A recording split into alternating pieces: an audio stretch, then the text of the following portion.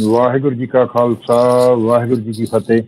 ਆਵਾਜ਼ੇ ਕੌਮ ਦੇ ਦਰਸ਼ਕ ਕੀਆਂ ਕਹਿੰਦੇ ਇਸ ਪ੍ਰੋਗਰਾਮ ਦੇ ਵਿੱਚ।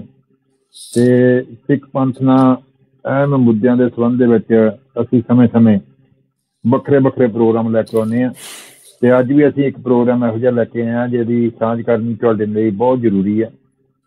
ਸਿੱਖ ਫॉर ਜਸਟਿਸ, ਜਿਹਨੂੰ ਭਾਰਤ ਦੇ ਵਿੱਚ ਬੈਨ ਕੀਤਾ ਹੋਇਆ, ਲੇਕਿਨ ਵਿਦੇਸ਼ਾਂ ਦੇ ਵਿੱਚ ਅਮਰੀਕਾ ਕੈਨੇਡਾ ਇੰਗਲੈਂਡ ਜਾਂ ਵੱਖ-ਵੱਖ ਦੇਸ਼ਾਂ ਦੇ ਵਿੱਚ ਇਹ ਜਥੇਬੰਦੀ ਜਿਹੜੀ ਆਪਣੀ ਮੂਵਮੈਂਟ ਨੂੰ ਆਪਣੇ ਤਰੀਕੇ ਦੇ ਨਾਲ ਕਰ ਰਹੀ ਆ ਉਹਨਾਂ ਦੇ ਬਹੁਤ ਹੀ ਸਾਡੇ ਸਤਿਕਾਰਯੋਗ ਭਾਈ ਦਵਿੰਦਰ ਸਿੰਘ ਜੀ ਆਗੂ ਜਿਹੜੇ ਇੱਥੇ ਇੰਗਲੈਂਡ ਦੇ ਸਿੱਖ ਜਸਟਿਸ ਦੇ ਕੋਆਰਡੀਨੇਟਰ ਵੀ ਆ ਉਹਨਾਂ ਨਾਲ ਆਪਾਂ ਗੱਲਬਾਤ ਕਰਨ ਜਾ ਰਹੇ ਹਾਂ ਤੇ ਸਭ ਤੋਂ ਪਹਿਲਾਂ ਜੀ ਆਇਆਂ ਕਹਿੰਦੇ ਆ ਵਾਹਿਗੁਰੂ ਜੀ ਕਾ ਖਾਲਸਾ ਖਾਲਸਾ ਵਾਹਿਗੁਰੂ ਜੀ ਕੀ ਫਤਿਹ ਜੀ। ਕੀ ਫਤਿਹ ਭਾਈ ਸਾਹਿਬ ਜੀ। ਦਵਿੰਦਰਜੀਤ ਸਿੰਘ ਜੀ ਸਭ ਤੋਂ ਪਹਿਲਾਂ ਸਿੱਖ ਫॉर ਜਸਟਿਸ ਭਾਰਤ ਦੇ ਵਿੱਚ ਬਿਆਨ ਆ ਤੇ ਤੁਸੀਂ ਪਿਛਲੇ ਮਤਲਬ ਸਮੇਂ ਤੋਂ ਜਿਹੜੇ ਵੱਖਰੇ ਵੱਖਰੇ ਤਰੀਕੇ ਨਾਲ ਰੀਫਰੈਂਡਮ ਜਾਂ ਹੋਰ ਜਿਹੜੀਆਂ ਹੁਣ ਤੁਸੀਂ ਜਿਹੜੀ ਸਿਗਨੇਚਰ ਦੀ ਮਹਿੰਮ ਸ਼ੁਰੂ ਕੀਤੀ ਹੋਈ ਆ ਕੀ ਅੱਜ ਕੱਲ ਚੱਲ ਰਿਹਾ ਸਿੱਖ ਫॉर ਜਸਟਿਸ ਵੱਲੋਂ ਕੀ ਕਰ ਰਹੇ ਜੀ ਭਾਈ ਰਗਵੀਰ ਸਿੰਘ ਜੀ ਜਿਹੜਾ ਰੈਫਰੈਂਡਮ ਆ ਉਹ ਤਕਰੀਬਨ ਜਿਵੇਂ ਕਿ ਤੁਹਾਨੂੰ ਵੀ ਪਤਾ ਆ ਸਾਰੀਆਂ ਸੰਗਤਾਂ ਨੂੰ ਵੀ ਪਤਾ ਸਿੱਖਾਂ ਨੂੰ ਪੰਜਾਬੀਆਂ ਨੂੰ।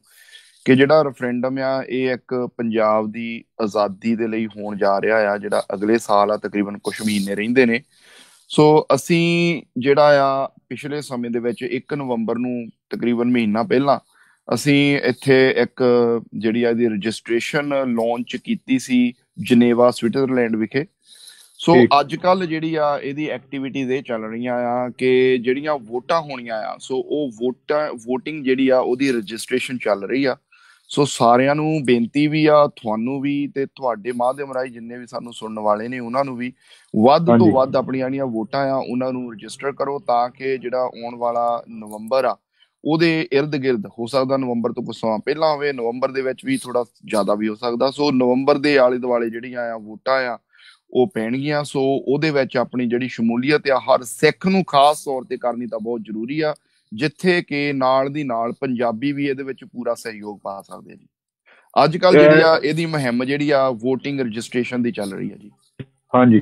ਇਹ ਦਵਿੰਦਰਜੀਤ ਸਿੰਘ ਜੀ ਥੋੜਾ ਜਿਹਾ ਹੋਰ ਸਪਸ਼ਟ ਕਰੋ ਕਿ ਜਿੱਦਾਂ ਤੁਸੀਂ ਕਿਹਾ ਵੀ ਅਗਲੇ ਸਾਲ ਨਵੰਬਰ ਤੱਕ VOTING ਕਿਉਂਕਿ ਕਈ ਆਪਾਂ ਤੁਸੀਂ ਤੁਹਾਡੀਆਂ ਮੈਂ ਜਿਹੜੀਆਂ ਸਿੱਖ ਫॉर ਜਸਟਿਸ ਦੀਆਂ ਜਿਹਦਾ ਸਟੇਟਮੈਂਟਾਂ ਜਾਂ ਫੇਸਬੁੱਕ ਜਾਂ ਜਿੱਤੇ ਵੀ ਤੁਸੀਂ ਕੰਮ ਕਰਦੇ ਆ ਜ਼ਿਆਦਾਤਰ ਇੰਗਲਿਸ਼ ਦੇ ਵਿੱਚ ਅੰਗਰੇਜ਼ੀ ਦੇ ਵਿੱਚ ਹੁੰਦਾ ਤੇ ਬਹੁਤ ਲੋਕਾਂ ਨੂੰ ਜਿਹੜੇ ਹੋ ਸਕਦਾ ਉਹ ਅੰਗਰੇਜ਼ੀ ਨਾ ਸਮਝ ਸਕਦੇ ਹੋਣ ਜਾਂ ਉਹਨਾਂ ਨੂੰ ਨਾ ਪਤਾ ਲੱਗਦਾ ਉਹ ਕਿਹੜਾ ਤਰੀਕਾ ਜਰੂਰ ਭਾਈ ਸਾਹਿਬ ਤੁਸੀਂ ਜੋ ਵੀ ਤੁਸੀਂ ਪੁੱਛਣਾ ਚਾਹੁੰਦੇ ਆ ਮੈਨੂੰ ਸਵਾਲ ਰੂਪ ਦੇ ਵਿੱਚ ਵੀ ਪੁੱਛ ਸਕਦੇ ਆ ਤਾਂ ਕਿ ਆਪਣੀ ਜਿਹੜੀ ਆ ਡਿਸਕਸ਼ਨ ਆ ਉਹ ਬੈਟਰ ਹੋਊਗੀ ਸੰਗਤਾਂ ਨੂੰ ਵੀ ਜਾਣੂ ਹੋਈ ਜਾਣਗੀਆਂ ਚੰਗੀ ਤਰ੍ਹਾਂ। ਜਿਹੜੀ VOTING ਆ ਉਹ ਆਨਲਾਈਨ ਵੀ ਹੋ ਸਕਦੀ ਆ ਪੋਲਿੰਗ ਬੂਥ ਦੇ ਥਰੂ ਵੀ ਹੋ ਸਕਦੀ ਆ। ਸੋ ਦੋਵੇਂ ਹੀ ਆਪਸ਼ਨ ਜਿਹੜੇ ਆ ਹੋਣਗੇ। ਜਿਹੜੀ ਆਨਲਾਈਨ ਆ ਤਕਰੀਬਨ ਲਿੰਕ ਜਿਹੜੇ ਆ ਸਾਡੇ ਸਾਰਿਆਂ ਗਰੁੱਪਾਂ ਦੇ ਵਿੱਚ ਸੋਸ਼ਲ ਮੀਡੀਆ ਤੇ ਤੇ ਜਿੰਨੇ ਵੀ ਮੀਡੀਆਜ਼ ਨੇ ਇਲੈਕਟ੍ਰੋਨਿਕ ਵੀ ਤੇ ਪ੍ਰਿੰਟਿੰਗ ਵੀ ਉਹ ਹਰ ਇੱਕ ਜਗ੍ਹਾ ਮੌਜੂਦ ਹੈ ਤਕਰੀਬਨ ਗੁਰਦੁਆਰਿਆਂ ਦੇ ਵਿੱਚ ਵੀ ਅਸੀਂ ਹੁਣ ਜਾ ਰਹੇ ਹਾਂ ਹੌਲੀ ਹੌਲੀ ਸੋ ਜਿਹੜੀਆਂ ਵੋਟਾਂ ਆ ਉਹ ਆਨਲਾਈਨ ਵੀ ਤੁਸੀਂ ਰਜਿਸਟਰ ਕਰ ਸਕਦੇ ਹੋ। ਰਜਿਸਟਰ ਕਰਨ ਦੇ ਲਈ ਜਿਹੜਾ ਆ ਉਹ ਬਿਲਕੁਲ ਇੱਕ ਸਿੰਪਲ ਜਿਹਾ ਲਿੰਕ ਆ ਯੈਸ ਟੂ ਖਾਲਿਸਤਾਨ। ਸੋ ਜੇ ਤੁਸੀਂ ਯੈਸ ਟੂ ਖਾਲਿਸਤਾਨ ਤੇ ਜਾਂਦੇ ਆ ਤੁਹਾਡੀ ਵੋਟ ਉਹ ਬਿਲਕੁਲ 5-6 ਸਟੈਪ ਨੇ। ਉਹ ਸਟੈਪ ਬਾਈ ਸਟੈਪ ਉਹ ਆਪੇ ਤੁਹਾਨੂੰ ਗਾਈਡ ਕਰ ਦਿੰਦੇ ਆ ਤੁਸੀਂ ਉੱਥੇ ਆਪਣੀ ਵੋਟ ਰਜਿਸਟਰ ਕਰ ਸਕਦੇ ਆ। ਤਾਂ ਕਿ ਜਦੋਂ ਸਮਾਂ ਆਉਣਾ ਆ ਨੇੜੇ ਉਸ ਸਮੇਂ ਜੇ VOTING ਜਿਹੜਾ ਕੋਈ ਬੂਥ ਵਿੱਚ ਨਹੀਂ ਪਾ ਸਕਦਾ ਜੇ ਆਨਲਾਈਨ ਵੀ ਜਾਣਾ ਚਾਹੁੰਦਾ ਆ ਉਹ ਉੱਥੇ ਵੀ ਆਪਣੀ ਵੋਟ ਜਿਹੜੀ ਆ ਕਾਸਟ ਕਰ ਸਕਦਾ ਹੈ ਤੇ ਬੂਥ ਦੇ ਥਰੂ ਵੀ ਕਰ ਸਕਦਾ ਹੈ ਤੇ ਅੱਜ ਜਿਵੇਂ ਤੁਹਾਡੇ ਦੱਸਣ ਅਨੁਸਾਰ ਅਮਰੀਕਾ ਦੇ ਵਿੱਚ ਜਿਹੜਾ ਆਫਿਸ ਦੇ ਵਿੱਚ ਜਾਂ ਉੱਥੇ ਵੀ ਪ੍ਰੈਸ ਕਾਨਫਰੰਸ ਹੋ ਰਹੀ ਆ ਜੀ ਜਿਵੇਂ ਚਲੋ ਬਾਅਦ ਉਹ ਵੀ ਮੈਂ ਤੁਹਾਨੂੰ ਅਪਡੇਟ ਕਰ ਦਿੰਨਾ ਜਿਹੜਾ ਅੱਜ ਜਿਹੜਾ ਆ ਸੀ 6 ਫॉर ਜਸਟਿਸ ਦਾ ਜਿਹੜਾ ਹੈੱਡਕੁਆਟਰ ਆ ਉਹ ਉਹ ਜਿਹੜਾ ਵਾਸ਼ਿੰਗਟਨ ਡੀਸੀ ਆ ਉੱਥੇ ਜਿਹੜੀ ਇੰਟਰਨੈਸ਼ਨਲ ਜਿਹੜਾ ਪ੍ਰੈਸ ਕਲੱਬ ਆ ਉਹਨੂੰ ਨੈਸ਼ਨਲ ਪ੍ਰੈਸ ਕਲੱਬ ਬਿਲਡਿੰਗ ਸਾਦੇ ਆ। ਸੋ ਬਿਲਕੁਲ ਵਾਸ਼ਿੰਗਟਨ ਡੀਸੀ ਜਿਹੜਾ ਵਾਈਟ ਹਾਊਸ ਆ ਉਹਦੇ ਬਿਲਕੁਲ ਨਾਲ ਆ ਉਹ ਬਿਲਡਿੰਗ ਜਿਹੜੀ ਆ ਤਕਰੀਬਨ ਟ੍ਰੈਜਰੀ ਵੀ ਉੱਥੇ ਹੀ ਆ ਉਹਨਾਂ ਦੀ। ਸੋ ਉਹ ਜਿਹੜੀ ਬਿਲਡਿੰਗ ਆ ਸਾਡਾ ਹੈੱਡਕੁਆਟਰ ਜਿਹੜਾ ਆ ਉੱਥੇ ਚਲਾ ਗਿਆ ਹੁਣ। ਸੋ ਅੱਜ ਜਿਹੜੀ ਆ ਸਾਡੀ ਨੈਸ਼ਨਲ ਜਿਹੜੀ ਪ੍ਰੈਸ ਕਲੱਬ ਆ ਬਿਲਡਿੰਗ ਉੱਥੋਂ ਅੱਜ ਸਾਡਾ ਪਹਿਲੀ ਜਿਹੜੀ ਆ ਉੱਥੋਂ ਇੰਟਰਨੈਸ਼ਨਲ ਕਾਨਫਰੰਸ ਜਿਹੜੀ ਆ ਸਾਡੀ ਹੋਣੀ ਆ। ਸੋ ਥੋੜੇ ਕੁਝ ਘੰਟਿਆਂ ਦੇ ਵਿੱਚ ਤੁਹਾਡੇ ਮੀਡੀਆ ਦੇ ਉੱਤੇ ਵੀ ਅਸੀਂ ਲਿੰਕ ਪਾ ਦਾਂਗੇ ਤੁਸੀਂ ਸ਼ੇਅਰ ਕਰ ਦਿਓ ਅਸੀਂ ਬਾਕੀ ਵੀ ਜਿੰਨੇ ਵੀ ਇੰਟਰਨੈਸ਼ਨਲ ਮੀਡੀਆ ਆ ਸੋ ਉਹ ਉਹਦੇ ਵਿੱਚ ਉਹਨਾਂ ਨੇ ਵੀ ਉਹਨੂੰ ਕਵਰ ਕਰਨਗੇ ਜੀ। ਦਵਿੰਦਰਜੀਤ ਸਿੰਘ ਜੀ ਮੈਂ ਹੁਣੇ ਹੁਣੇ ਪਾਕਿਸਤਾਨ ਦੇ ਵਿੱਚ ਵੀ ਨਨਕਾਣਾ ਸਾਹਿਬ ਯਾਤਰਾ ਤੇ ਜਾ ਕੇ ਤੇ ਪੰਜਾਬ ਦੇ ਵਿੱਚੋਂ ਵੀ ਹੋ ਕੇ ਆਇਆ। ਪੰਜਾਬ ਦੇ ਵਿੱਚ ਜਦੋਂ ਮੈਂ ਪਹਿਲਾਂ ਸਟਾਰਟਿੰਗ ਦੇ ਵਿੱਚ ਤੁਹਾਨੂੰ ਕਿਹਾ ਸੀ ਕਿ ਸਿੱਖ ਜਸਟਿਸ ਜਿਹੜੀ ਜਥੇਬੰਦੀ ਹੈ ਐਸਐਫਜੇ ਪੂਰੇ ਭਾਰਤ ਦੇ ਵਿੱਚ ਬੈਨ ਆ। ਜੀ। ਤੇ ਜਿੱਦਾਂ ਤੁਸੀਂ ਕਿਹਾ ਵੀ ਸੋਸ਼ਲ ਮੀਡੀਆ ਤੇ ਜਾਂ ਤੁਸੀਂ ਆਨਲਾਈਨ ਇਹ ਕੰਮ ਇੱਥੋਂ ਤੱਕ ਵੀ ਆ ਕਿ ਜਦੋਂ ਤੁਹਾਡੀ ਕੋਈ ਚੀਜ਼ ਜਾਂ ਤੁਹਾਡੀ ਕੋਈ ਗੱਲ ਵੀ ਸ਼ੇਅਰ ਕਰਦਾ ਤੇ ਉੱਤੇ ਪਾਬੰਦੀ ਆ। ਤੇ ਉਹਨੂੰ ਪੁੱਛ ਕੇ ਇਥੇ ਫੜ ਵੀ ਲਿਆ ਜਾਂਦਾ ਜਾਂ ਉਹਨੂੰ ਮਤਲਬ ਜਿੱਦਾਂ ਜੋ ਭਾਰਤ ਸਰਕਾਰ ਜਾਂ ਉਥੋਂ ਦੀ ਪੁਲਿਸ ਕਰਦੀ ਆ ਉਹਨਾਂ ਤੇ ਤਸ਼ੱਦਦ ਵੀ ਹੁੰਦਾ ਜਾਂ ਕਿ ਉਹਨਾਂ ਨੂੰ ਫੜ ਕੇ ਜੇਲ੍ਹ ਦੇ ਵਿੱਚ ਵੀ ਦੇ ਦਿੱਤਾ ਜਾਂਦਾ। ਉਹ ਕੁਝ ਬੰਦਿਆਂ ਨਾਲ ਜਿਹੜੀ ਮੇਰੀ ਪਰਸਨਲੀ ਗੱਲਬਾਤ ਹੋਈ ਆ ਉਹ ਕਹਿੰਦੇ ਵੀ ਅਸੀਂ ਇਹ ਸੋਚ ਕੇ ਵੀ ਹਾਂ ਅਸੀਂ 2020 ਦੇ ਵਿੱਚ ਆਜ਼ਾਦ ਹੋ ਜਾਣਾ ਅਸੀਂ ਮੂਵਮੈਂਟ ਲਈ ਜਦਾਂ ਇਹ ਚੀਜ਼ਾਂ ਸ਼ੇਅਰ ਕੀਤੀਆਂ ਜਾਂ ਸਾਨੂੰ ਚੱਕ ਕੇ ਲਗਾਇਆ ਪਰ ਸਾਨੂੰ ਮੁੜ ਕੇ ਕਿਸੇ ਵੀ ਜਥੇਬੰਦੀ ਨੇ ਮਤਲਬ ਸਾਡੀ ਸਾਰ ਨਹੀਂ ਲਈ। ਜੀ। ਇਹਦੇ ਵਿੱਚ ਮਤਲਬ ਇੱਕ ਪਹਿਲੀ ਗੱਲ ਤੇ ਇਹ ਆ ਵੀ ਇਹ ਵਾਕਿਆ ਹੀ ਸੱਚ ਆ ਕਿ ਬੰਦਿਆਂ ਨੂੰ ਚੱਕ ਲਿਆ ਜਾਂਦਾ। ਦੂਸਰਾ ਜੇ ਚੱਕ ਲਿਆ ਜਾਂਦਾ ਤਾਂ ਉਹਨਾਂ ਦੇ ਮਗਰ ਕੋਈ ਸਾਰ ਕਿਉਂ ਨਹੀਂ ਲੈਂਦਾ? ਜੀ ਦੇਖੋ ਇਹਦੇ ਵਿੱਚ ਦੋ ਚੀਜ਼ਾਂ ਆ ਭਾਈ ਸਾਹਿਬ ਜੀ। ਇਹ ਬਿਲਕੁਲ ਸੱਚ ਆ ਜਿਹੜੀ ਸਰਕਾਰ ਆ ਉਹ ਤੰਗ ਕਰਦੀ ਆ। ਜਿਵੇਂ ਸਾਡੇ ਵੀ ਕਈ ਰਿਸ਼ਤੇਦਾਰ ਨੇ ਪਿੱਛੇ ਉਹਨਾਂ ਨੂੰ ਵੀ ਤੰਗ ਕੀਤਾ ਜਾਂਦਾ ਆ। ਸੋ ਜਿੰਨੀਆਂ ਵੀ ਰੈਫਰੈਂਡਮ ਦੀ ਜਿਹੜੀ ਮੂਵਮੈਂਟ ਹੈ ਉਹਦੇ ਨਾਲ ਬੰਦੇ ਜੁੜਦੇ ਨੇ ਉਹਨੂੰ ਨੂੰ ਸਰਕਾਰ ਤੰਗ ਕਰਦੀ ਆ। ਪਹਿਲੀ ਗੱਲ ਤਾਂ ਇਹ ਤੋਂ ਇਹ ਸਪਸ਼ਟ ਹੁੰਦੀ ਆ ਕਿ ਵਾਕਿਆ ਹੀ ਹਿੰਦੁਸਤਾਨ ਦੇ ਵਿੱਚ ਡੈਮੋਕ੍ਰੇਸੀ ਨਾਲ ਚਾਹੇ ਤੁਸੀਂ ਉਸ ਡੈਮੋਕ੍ਰੈਟਿਕ ਢੰਗ ਨਾਲ ਆਪਣੇ ਖਾਲਿਸਤਾਨ ਦੀ ਗੱਲ ਕਰ ਲਓ ਚਾਹੇ ਤੁਸੀਂ ਪਹਿਲਾਂ ਜਿਵੇਂ ਡਿਫੈਂਸ ਦੇ ਵਿੱਚ ਹਥਿਆਰਬੰਦ ਸੰਘਰਸ਼ ਲੜਿਆ ਗਿਆ ਜਿਨ੍ਹਾਂ ਨੂੰ ਸਰਕਾਰ ਨੇ ਅੱਤਵਾਦੀ ਕਿਹਾ ਜੇ ਤੁਸੀਂ ਹਥਿਆਰ ਚੱਕਦੇ ਆ ਆਪਣੀ ਡਿਫੈਂਸ ਵਿੱਚ ਤੁਸੀਂ ਤਾਂ ਵੀ ਅੱਤਵਾਦੀ ਸਰਕਾਰ ਤੁਹਾਨੂੰ ਤਾਂ ਵੀ ਮਾਰਦੀ ਆ। ਜੇ ਤੁਸੀਂ ਡੈਮੋਕ੍ਰੈਟਿਕ ਤਰੀਕੇ ਨਾਲ ਵੀ ਗੱਲ ਕਰਨੀ ਚਾਹੁੰਦੇ ਹੋ, ਤਾਂ ਵੀ ਤੁਹਾਨੂੰ ਸਰਕਾਰ ਮਾਰਦੀ ਆ। ਨੰਬਰ 1 ਇਹ ਤੋਂ ਇਹ ਸਪਸ਼ਟ ਹੋ ਜਾਂਦਾ ਕਿ ਹਿੰਦੁਸਤਾਨ ਦੇ ਵਿੱਚ ਜਾਂ ਪੰਜਾਬ ਦੇ ਵਿੱਚ ਡੈਮੋਕ੍ਰੇਸੀ ਦੇ ਲਈ ਆਪਣੇ ਆਪ ਨੂੰ ਵੱਡੀ ਡੈਮੋਕ੍ਰੇਸੀ ਅਖਵਾਉਂਦਾ ਦੁਨੀਆ ਦਾ। ਲੇਕਿਨ ਉੱਥੇ ਤੁਹਾਨੂੰ ਡੈਮੋਕ੍ਰੈਟਿਕ ਤਰੀਕੇ ਨਾਲ ਵੀ ਆਪਣੀ ਗੱਲ ਨਹੀਂ ਰੱਖਣ ਦਿੱਤੀ ਜਾਂਦੀ। ਪਹਿਲੀ ਗੱਲ ਤਾਂ ਇਹ ਆ, ਇਹਦੇ ਤੋਂ ਇਹ ਸਪਸ਼ਟ ਹੋ ਜਾਂਦਾ ਜਿਹੜੀਆਂ ਗ੍ਰਿਫਤਾਰੀਆਂ ਹੁੰਦੀਆਂ ਕਿ ਭਾਰਤ ਵਿੱਚ ਡੈਮੋਕ੍ਰੈਟਿਕ ਤਰੀਕੇ ਨਾਲ ਵੀ ਤੁਸੀਂ ਆਪਣੀ ਸਿੱਖ ਗੱਲ ਨਹੀਂ ਰੱਖ ਸਕਦੇ। ਨੰਬਰ 1 ਨੰਬਰ 2 ਜਿਹੜੀ ਆਪਾਂ ਗੱਲ ਕਰਦੇ ਆ ਕਿ ਉਹਨਾਂ ਨੂੰ ਚੱਕ ਲਿਆ ਜਾਂਦਾ ਤੇ ਪਿੱਛੋਂ ਪੈਰ ਵੀ ਨਹੀਂ ਹੁੰਦੀ ਉਹਨਾਂ ਦੀ ਜਾਂ ਕੋਈ ਨਹੀਂ ਹੁੰਦਾ। ਦੇਖੋ ਬਹੁਤ ਸਾਰੇ ਜਦੋਂ ਆਜ਼ਾਦੀ ਦੇ ਸੰਘਰਸ਼ ਚੱਲਦੇ ਆ, ਪਹਿਲੀ ਗੱਲ ਤਾਂ ਇਹ ਆ, ਜੇ ਇਹ ਤੁਸੀਂ ਗੱਲ ਨੂੰ ਭੁੱਲ ਜਾਓ ਕਿ ਜੇ ਆਜ਼ਾਦੀ ਮਿਲਣੀ ਆ ਤੇ ਘਰ ਬੈਠਿਆਂ ਨੂੰ, ਸੋਫਿਆਂ ਤੇ ਬੈਠਿਆਂ ਨੂੰ ਆਪਾਂ ਨੂੰ ਮਿਲ ਜਾਣੀ ਆ। ਸੋ ਆਜ਼ਾਦੀ ਦੇ ਲਈ ਐਫਰਟ ਕਰਨੇ ਪੈਂਦੇ ਆ ਉਹ ਐਫਰਟ ਦੇ ਲਈ ਉਸ ਆਜ਼ਾਦੀ ਨੂੰ ਕੁਚਲਣ ਦੇ ਲਈ ਸਰਕਾਰਾਂ ਬਹੁਤ ਹੱਥ ਕੰਡੇ ਅਪਣਾਉਂਦੀਆਂ ਪਿਛਲੇ ਸਮੇਂ 'ਚ ਵੀ ਅਪਣਾਏ ਆ। ਸੋ ਜਿਹੜੀ ਰਹੀ ਉਹਨਾਂ ਦੀ ਪੈਰਵੀ ਦੀ ਗੱਲ ਜਿੰਨੇ ਕ 6 ਫॉर ਜਸਟਿਸ ਦੇ ਨਾਲ ਜਿਹੜੇ ਸਾਡੇ ਕਾਰਕੁਨ ਸਗੇ ਉਹਨਾਂ ਦੀ ਜਿਹੜੀ ਆ ਪੈਰਵੀ ਜਾਂ ਉਹਨਾਂ ਦੇ ਜਿਹੜੇ ਵਕੀਲ ਆ ਉਹ 6 ਫॉर ਜਸਟਿਸ ਨੇ ਵੀ ਕੀਤੇ ਨੇ। ਹਾਂ ਲੇਕਿਨ ਜਦੋਂ ਕਈ ਵਾਰ ਇਦਾਂ ਹੁੰਦਾ ਵੀ ਜਦੋਂ ਇੱਕ ਬੰਦਾ ਘਰ ਦੇ ਵਿੱਚ ਜਾਂ ਦੋ ਬੰਦੇ ਕਮਾਉਣ ਵਾਲੇ ਹੋਣ ਤੇ ਉਹ ਚਲੇ ਜਾਣ ਕਈ ਵਾਰ ਪਿੱਛੇ ਪਰਿਵਾਰ ਦੇ ਵਿੱਚ ਉਹ ਗੱਲ ਨਹੀਂ ਬਣਦੀ। ਲੇਕਿਨ ਉਹਦੇ ਲਈ ਆਪਣੀਆਂ ਪੰਥ ਵਿੱਚ ਬਹੁਤ ਸਾਰੀਆਂ ਆਰਗੇਨਾਈਜੇਸ਼ਨ ਆ, ਹੋਰ ਵੀ ਜਥੇਬੰਦੀਆਂ ਨੇ ਜਿਹੜੀਆਂ ਉਹਨਾਂ ਦੀ ਸਾਰ ਲੈ ਸਕਦੀਆਂ ਆ। ਇੱਕ ਨੰਬਰ 1 ਨੰਬਰ 2 ਇਹ, ਇਹਦੇ ਨਾਲ ਹੀ ਇੱਕ ਹੋਰ ਇਹਦਾ ਇਹਦੀ ਇਹਦੇ ਵਿੱਚ ਜਿਹੜੀ ਆ ਉਹ ਗੱਲ ਐਡ ਕਰਨੀ ਬਹੁਤ ਜ਼ਰੂਰੀ ਆ, ਉਹ ਇਹ ਹੈ ਕਿ ਦੇਖੋ ਪਿਛਲੇ ਸਮੇਂ ਵਿੱਚ ਵੀ ਸੰਘਰਸ਼ ਚੱਲਿਆ, ਤਕਰੀਬਨ 30 35 ਸਾਲ ਦਾ ਸਮਾਂ ਜਿਹੜਾ ਕਿ ਡਿਫੈਂਸ ਦੇ ਵਿੱਚ ਹਥਿਆਰਬੰਦ ਸੰਘਰਸ਼ ਲੜਿਆ ਗਿਆ। ਉਹਦੇ ਵਿੱਚ ਵੀ ਹਜੇ ਤਾਈਂ ਸ਼ਿਕਾਇਤ ਬਹੁਤ ਸਾਰੇ ਪਰਿਵਾਰਾਂ ਦੀ ਰਹੀ ਆ ਕਿ ਉਹਨਾਂ ਦੀ ਸਾਰ ਨਹੀਂ ਲਈ ਲਈ ਜਾਂਦੀ ਜਾਂ ਨਹੀਂ ਲਈ ਗਈ। ਪਰ ਮੈਂ ਸਮਝਦਾ ਕੋਈ ਜਾਣਬੁੱਝ ਕੇ ਨਹੀਂ ਇਦਾਂ ਕੀਤਾ ਜਾਂਦਾ। ਕਈ ਵਾਰ ਇਸ ਤਰ੍ਹਾਂ ਹੁੰਦਾ ਆ ਕਿ ਜਿੰਨੀ ਤਦਾਦ ਦੇ ਵਿੱਚ ਪੰਥ ਨੇ ਕੁਰਬਾਨੀਆਂ ਕੀਤੀਆਂ ਕੌਮ ਨੇ ਕੁਰਬਾਨੀਆਂ ਕੀਤੀਆਂ ਆ ਕਈ ਵਾਰ ਉਹਨਾਂ ਦੀ ਕਿਤੇ ਨਾ ਕਿਤੇ ਪਿਛਲੇ ਸਮੇਂ ਵਿੱਚ ਵੀ ਸਾਰ ਨਹੀਂ ਲਈ ਗਈ ਜਾਂ ਨਹੀਂ ਲਾਈ ਜਾ ਸਕੀ। ਸੋ ਇਹਦੇ ਵਿੱਚ ਜਾਣਬੁੱਝ ਕੇ ਨਹੀਂ ਕੋਈ ਕਰਦਾ। ਸੋ ਜਿੰਨੇ ਵੀ ਸਾਡੇ ਕਾਰਕੁਨ ਨੇ ਤਕਰੀਬਨ ਉਹਨਾਂ ਦੇ ਜਿਹੜੇ ਕੇਸ ਨੇ ਉਹਨਾਂ ਦੀ ਪੈਰਵਾਈ 6 ਫॉर ਜਸਟਿਸ ਕਰਦੀ ਹੈ ਠੀਕ ਹੈ। ਦੂਸਰੀ ਹੈਗੀ ਆ ਜਿਹੜੀਆਂ ਪੰਜਾਬ ਦੀਆਂ ਸਿੱਖ ਜਥੇਬੰਦੀਆਂ ਮੈਂ ਇਹ ਕੱਲ ਸਿੱਧੇ ਰੂਪ ਦੀ ਗੱਲ ਕਰਦਾ ਜਿਹੜੀਆਂ ਸੰਘਰਸ਼ ਲੜ ਰਹੀਆਂ ਜਥੇਬੰਦੀਆਂ। ਜੀ। ਉਹਨਾਂ ਨੂੰ ਵੀ ਸਿੱਖ ਫੋਰ ਜਸਟਿਸ ਤੇ ਬਹੁਤ ਇਤਰਾਜ਼ ਆ ਕਿ ਇਹ ਬੰਦੇ ਇਹਨਾਂ ਦੇ ਚੱਕ ਲੈ ਜਾਂਦੇ ਆ ਤੇ ਮੁੜ ਕੇ ਸਾਨੂੰ ਛਡਾਉਣੇ ਪੈਂਦੇ ਆ ਸਾਨੂੰ ਮਗਰ ਜਾਣਾ ਪੈਂਦਾ। ਤੇ ਦੂਸਰੀ ਵੀ ਅਸੀਂ ਜਿਹੜੇ ਸਿੱਖ ਫੋਰ ਜਸਟਿਸ ਦੀ ਨੀਤੀ ਆ ਉਹਦੇ ਨਾਲ ਸਹਿਮਤ ਨਹੀਂ ਗਏ ਇਹ ਰੀਫਰੈਂਡਮ ਜਿਹੜਾ ਇਹਨਾਂ ਦੀ ਮੂਵਮੈਂਟ ਹੈ ਬਿਲਕੁਲ ਗਲਤ ਹੈ ਕੌਮ ਨੂੰ ਗੁੰਮਰਾਹ ਕਰਨ ਵਾਲੀ ਨੀਤੀ ਆ। ਇਹਦੇ ਬਾਰੇ ਕੀ ਕਹੋ ਜੀ ਦੇਖੋ ਭਾਈ ਰਗਵੀਰ ਸਿੰਘ ਜੀ ਇਹ ਤਾਂ ਤੁਸੀਂ ਆਪ ਹੀ ਇਹਦਾ ਮੈਨੂੰ ਲੱਗਦਾ ਇਥੋਂ ਪਹਿਲਾਂ ਅਗਰ ਤੁਸੀਂ ਧਿਆਨ ਕਰੋ ਜਿਹੜਾ ਮੈਨੂੰ ਤੁਸੀਂ ਸਵਾਲ ਕੀਤਾ ਸੀ ਇਸ ਤੋਂ ਪਹਿਲਾਂ ਕਿ ਜਦੋਂ ਕੋਈ ਰੈਫਰੈਂਡਮ ਦੀ ਗੱਲ ਕੀ ਕਰਦਾ ਹੈ ਤੇ ਉਹਨਾਂ ਦਾ ਨੌਜਵਾਨ ਜਿਹੜੇ ਆ ਉਹ ਚੱਕੇ ਜਾਂਦੇ ਆ ਤੇ ਸਰਕਾਰ ਨੇ ਜਿਹੜੀ ਆ ਰੈਫਰੈਂਡਮ ਜਿਹੜਾ ਆ ਜਾਂ 6 ਫॉर ਜਸਟਿਸ ਆ ਇਹਦੇ ਤੇ ਬੈਨ ਲਾਇਆ ਹੋਇਆ। ਹਾਂਜੀ ਹਾਂਜੀ। ਦੇਖੋ ਇਹ ਬਹੁਤ ਸਪਸ਼ਟ ਆ। ਸਰਕਾਰ ਨੂੰ ਪਤਾ ਲੱਗ ਗਿਆ ਕਿ 6 ਫॉर ਜਸਟਿਸ ਕੀ ਕਰਦੀ ਆ। ਜਿਹੜੀ ਇਫੈਕਟਿਵ ਲੜਾਈ ਸਰਕਾਰ ਨੂੰ ਕੌਣ ਦੇ ਰਿਹਾ ਆ। ਸਰਕਾਰ 6 ਫॉर ਜਸਟਿਸ ਤੇ ਤਾਂ ਪਾਬੰਦੀ ਲਾਉਂਦੀ ਆ। ਠੀਕ ਹੈ ਨਾ ਜੀ? ਸੋ ਸਾਡੇ ਕਾਰਕੁਨਾਂ ਨੂੰ ਅਰੈਸਟ ਕੀਤਾ ਜਾਂਦਾ ਆ। ਸੋ ਰੈਫਰੈਂਡਮ ਦੀ ਜਿਹੜੀ ਮੂਵਮੈਂਟ ਆ ਤੁਸੀਂ ਖਾਲਿਸਤਾਨ ਦਾ ਨਾਰਾ ਲਾ ਲਓ ਇਸ ਵੇਲੇ ਪੰਜਾਬ ਦੇ ਵਿੱਚ ਉਹ ਠੀਕ ਹੈ। ਲੇਕਿਨ ਤੁਸੀਂ ਰੈਫਰੈਂਡਮ 2020 ਦਾ ਨਾਰਾ ਲਾ ਦਿਓ ਤੁਹਾਨੂੰ ਚੱਕ ਕੇ ਅੰਦਰ ਪਾ ਦੇਣਗੇ। ਨਹੀਂ ਮੈਂ ਇਹ ਕਿਉਂਕਿ ਮੇਰੇ ਕੋਲ ਦਵਿੰਦਰਜੀਤ ਸਿੰਘ ਜੀ ਹੁਣ ਅੱਗੇ ਚੱਲਦਾ ਨਾ ਜੀ ਮੈਂ। ਸੋ ਜੇ ਜੇ ਤੁਸੀਂ ਰੈਫਰੈਂਡਮ ਦਾ ਨਾਰਾ ਲਾ ਦੋ ਤੇ ਤੁਹਾਨੂੰ ਚੱਕ ਕੇ ਅੰਦਰ ਕਰ ਦਿੱਤਾ ਜਾਂਦਾ। ਜੇ ਤੁਸੀਂ ਇਕੱਲਾ ਖਾਲਿਸਤਾਨ ਦਾ ਲਾ ਲਓ ਤੇ ਠੀਕ ਆ। ਹੁਣ ਸੋਚਣ ਵਾਲੀ ਗੱਲ ਇਹ ਆ ਕਿ ਸਰਕਾਰਾਂ ਨੂੰ ਪਤਾ ਲੱਗ ਗਿਆ ਕਿ ਇਫੈਕਟਿਵ ਤਰੀਕਾ ਜਿਹੜਾ ਆਜ਼ਾਦੀ ਲੈਣ ਦਾ ਕਿਹੜਾ ਆ। ਬਾਕੀ ਰਹੀ ਗੱਲ ਕਿਸੇ ਦੇ ਉੱਤੇ ਜੇ ਕੋਈ ਸਾਡੇ ਬਾਰੇ ਕੀ ਕੋਈ ਵਿਚਾਰਧਾਰਾ ਕੀ ਰੱਖਦਾ ਆ ਉਹ ਜੀ ਉਹਦੀ ਆਪਣੀ ਨਿੱਜੀ ਵਿਚਾਰਧਾਰਾ ਹੋ ਸਕਦੀ ਆ। ਲੇਕਿਨ ਅਸੀਂ ਕਿਸੇ ਦੇ ਬਾਰੇ ਵੀ ਕਮੈਂਟ ਨਹੀਂ ਰੱਖਦੇ ਕਿਉਂਕਿ ਜਿਹੜਾ ਹੁਣ ਜਿਸ ਦੁਨੀਆ ਦੇ ਵਿੱਚ ਰਹਿੰਦੇ ਆ ਇਹ ਇੱਥੇ ਫਰੀडम ਆਫ ਸਪੀਚ ਹੈ ਉਹ ਵੀ ਆਪਣੀ ਗੱਲ ਰੱਖ ਸਕਦੇ ਆ। ਅਸੀਂ ਆਪਣੀ ਗੱਲ ਕੌਮ ਦੇ ਅੱਗੇ ਰੱਖ ਦਿੰਨੇ ਆ। ਜੇ ਕੌਮ ਜੇ ਕੌਮ ਨੂੰ ਪਰਵਾਨ ਹੈ ਤਾਂ ਠੀਕ ਹੈ। ਠੀਕ ਹੈ। ਦਵਿੰਦਰ ਸਿੰਘ ਜੀ ਸਿੰਘ ਇਹ ਸਵਾਲ ਮੈਂ ਤਾਂ ਪੁੱਛਿਆ ਕਿਉਂ ਇਹ ਕੌਮ ਨਾਲ ਸੰਬੰਧਿਤ ਮਸਲਾ ਆ? ਕਿਉਂਕਿ ਜੇ ਕੋਈ ਬੰਦਾ ਵੱਖਰੇ ਵੈਸੇ ਵਿਚਾਰ ਰੱਖਦਾ ਉਹਦੀ ਆਪਣੀ ਮਰਜ਼ੀ ਹੋ ਸਕਦੀ ਆ। ਪਰ ਜਦੋਂ ਕੌਮ ਦੇ ਕੋਈ ਜਥੇਬੰਦੀ ਜਾਂ ਸਿੱਖ ਫੋਰ ਜਸਟਿਸ ਲੜ ਰਹੀ ਆ ਜਾਂ ਬਾਕੀ ਜਥੇਬੰਦੀਆਂ ਵੀ ਦਾਵਾ ਕਰਦੀਆਂ ਵੀ ਅਸੀਂ ਵੀ ਲੜ ਰਹੇ ਆ ਜੇ ਉਹ ਕਹਿ ਰਿਹਾ ਕਿ ਜਿਹੜੀ ਸਿੱਖ ਫॉर ਜਸਟਿਸ ਦੀ ਜੇ ਉਹਨਾਂ ਨੂੰ ਹਾਂਜੀ। ਜੀ ਜੇ ਜੇ ਉਹਨਾਂ ਨੂੰ ਲੱਗਦਾ ਹੈ ਕਿ ਸਿੱਖ ਫॉर ਜਸਟਿਸ ਦੀ ਜਿਹੜੀ ਨੀਤੀ ਆ ਜਾਂ ਇਹ ਰਣਨੀਤੀ ਜਿਹੜੀ ਜਿਹਦੇ ਤਹਿਤ ਅਸੀਂ ਲੜਾਈ ਲੜਦੇ ਆ ਖਾਲਿਸਤਾਨ ਦੀ ਜਾਂ ਆਜ਼ਾਦ ਪੰਜਾਬ ਦੀ ਜੇ ਉਹਨਾਂ ਨੂੰ ਲੱਗਦਾ ਇਹ ਗਲਤ ਆ ਫਿਰ ਉਹ ਦੱਸ ਦੇਣ ਉਹ ਕਿਸ ਤਰੀਕੇ ਨਾਲ ਲੜਨਾ ਚਾਹੁੰਦੇ ਆ?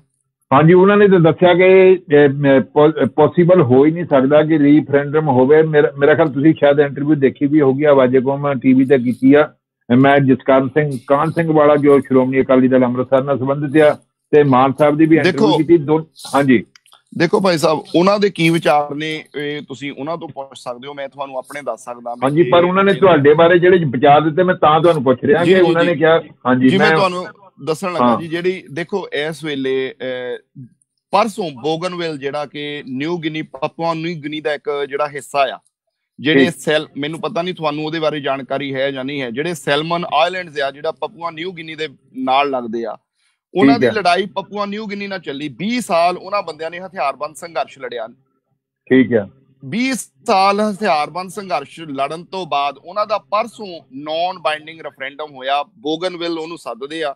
ਸੋ ਬੋਗਨਵਿਲ ਨੇ ਆਪਣਾ ਨਾਨ ਬਾਈਂਡਿੰਗ ਰੈਫਰੈਂਡਮ ਪਰਸੋਂ ਕਰਵਾਇਆ ਆ। ਸੋ ਜੇ ਰੈਫਰੈਂਡਮ ਕਾਰਗਰ ਨਹੀਂ ਬੋਗਨਵਿਲ ਨਾਨ ਬਾਈਂਡਿੰਗ ਰੈਫਰੈਂਡਮ ਕਰਵਾ ਰਿਹਾ। ਸਪੇਨ ਦੇ ਵਿੱਚ ਉਹਦੀ ਸਟੇਟ ਕੈਟਲੋਨੀਆ ਉਹ ਨਾਨ ਬਾਈਂਡਿੰਗ ਰੈਫਰੈਂਡਮ ਕਰਵਾ ਰਹੀ ਆ। ਵੈਨਜ਼ੂਏਲਾ ਨਾਨ ਬਾਈਂਡਿੰਗ ਰੈਫਰੈਂਡਮ ਕਰਵਾ ਰਿਹਾ। ਕਿੰਨੇ ਕੰਟਰੀ ਨੇ ਆਉਣ ਵਾਲੇ 1 ਸਾਲ ਦੇ ਤਾਈਂ ਹੋਰ ਵੀ 2 ਜਾਂ 3 ਕੰਟਰੀ ਉਹ ਵੀ ਨਾਨ ਬਾਈਂਡਿੰਗ ਰੈਫਰੈਂਡਮ ਕਰਵਾ ਰਹੇ ਆ।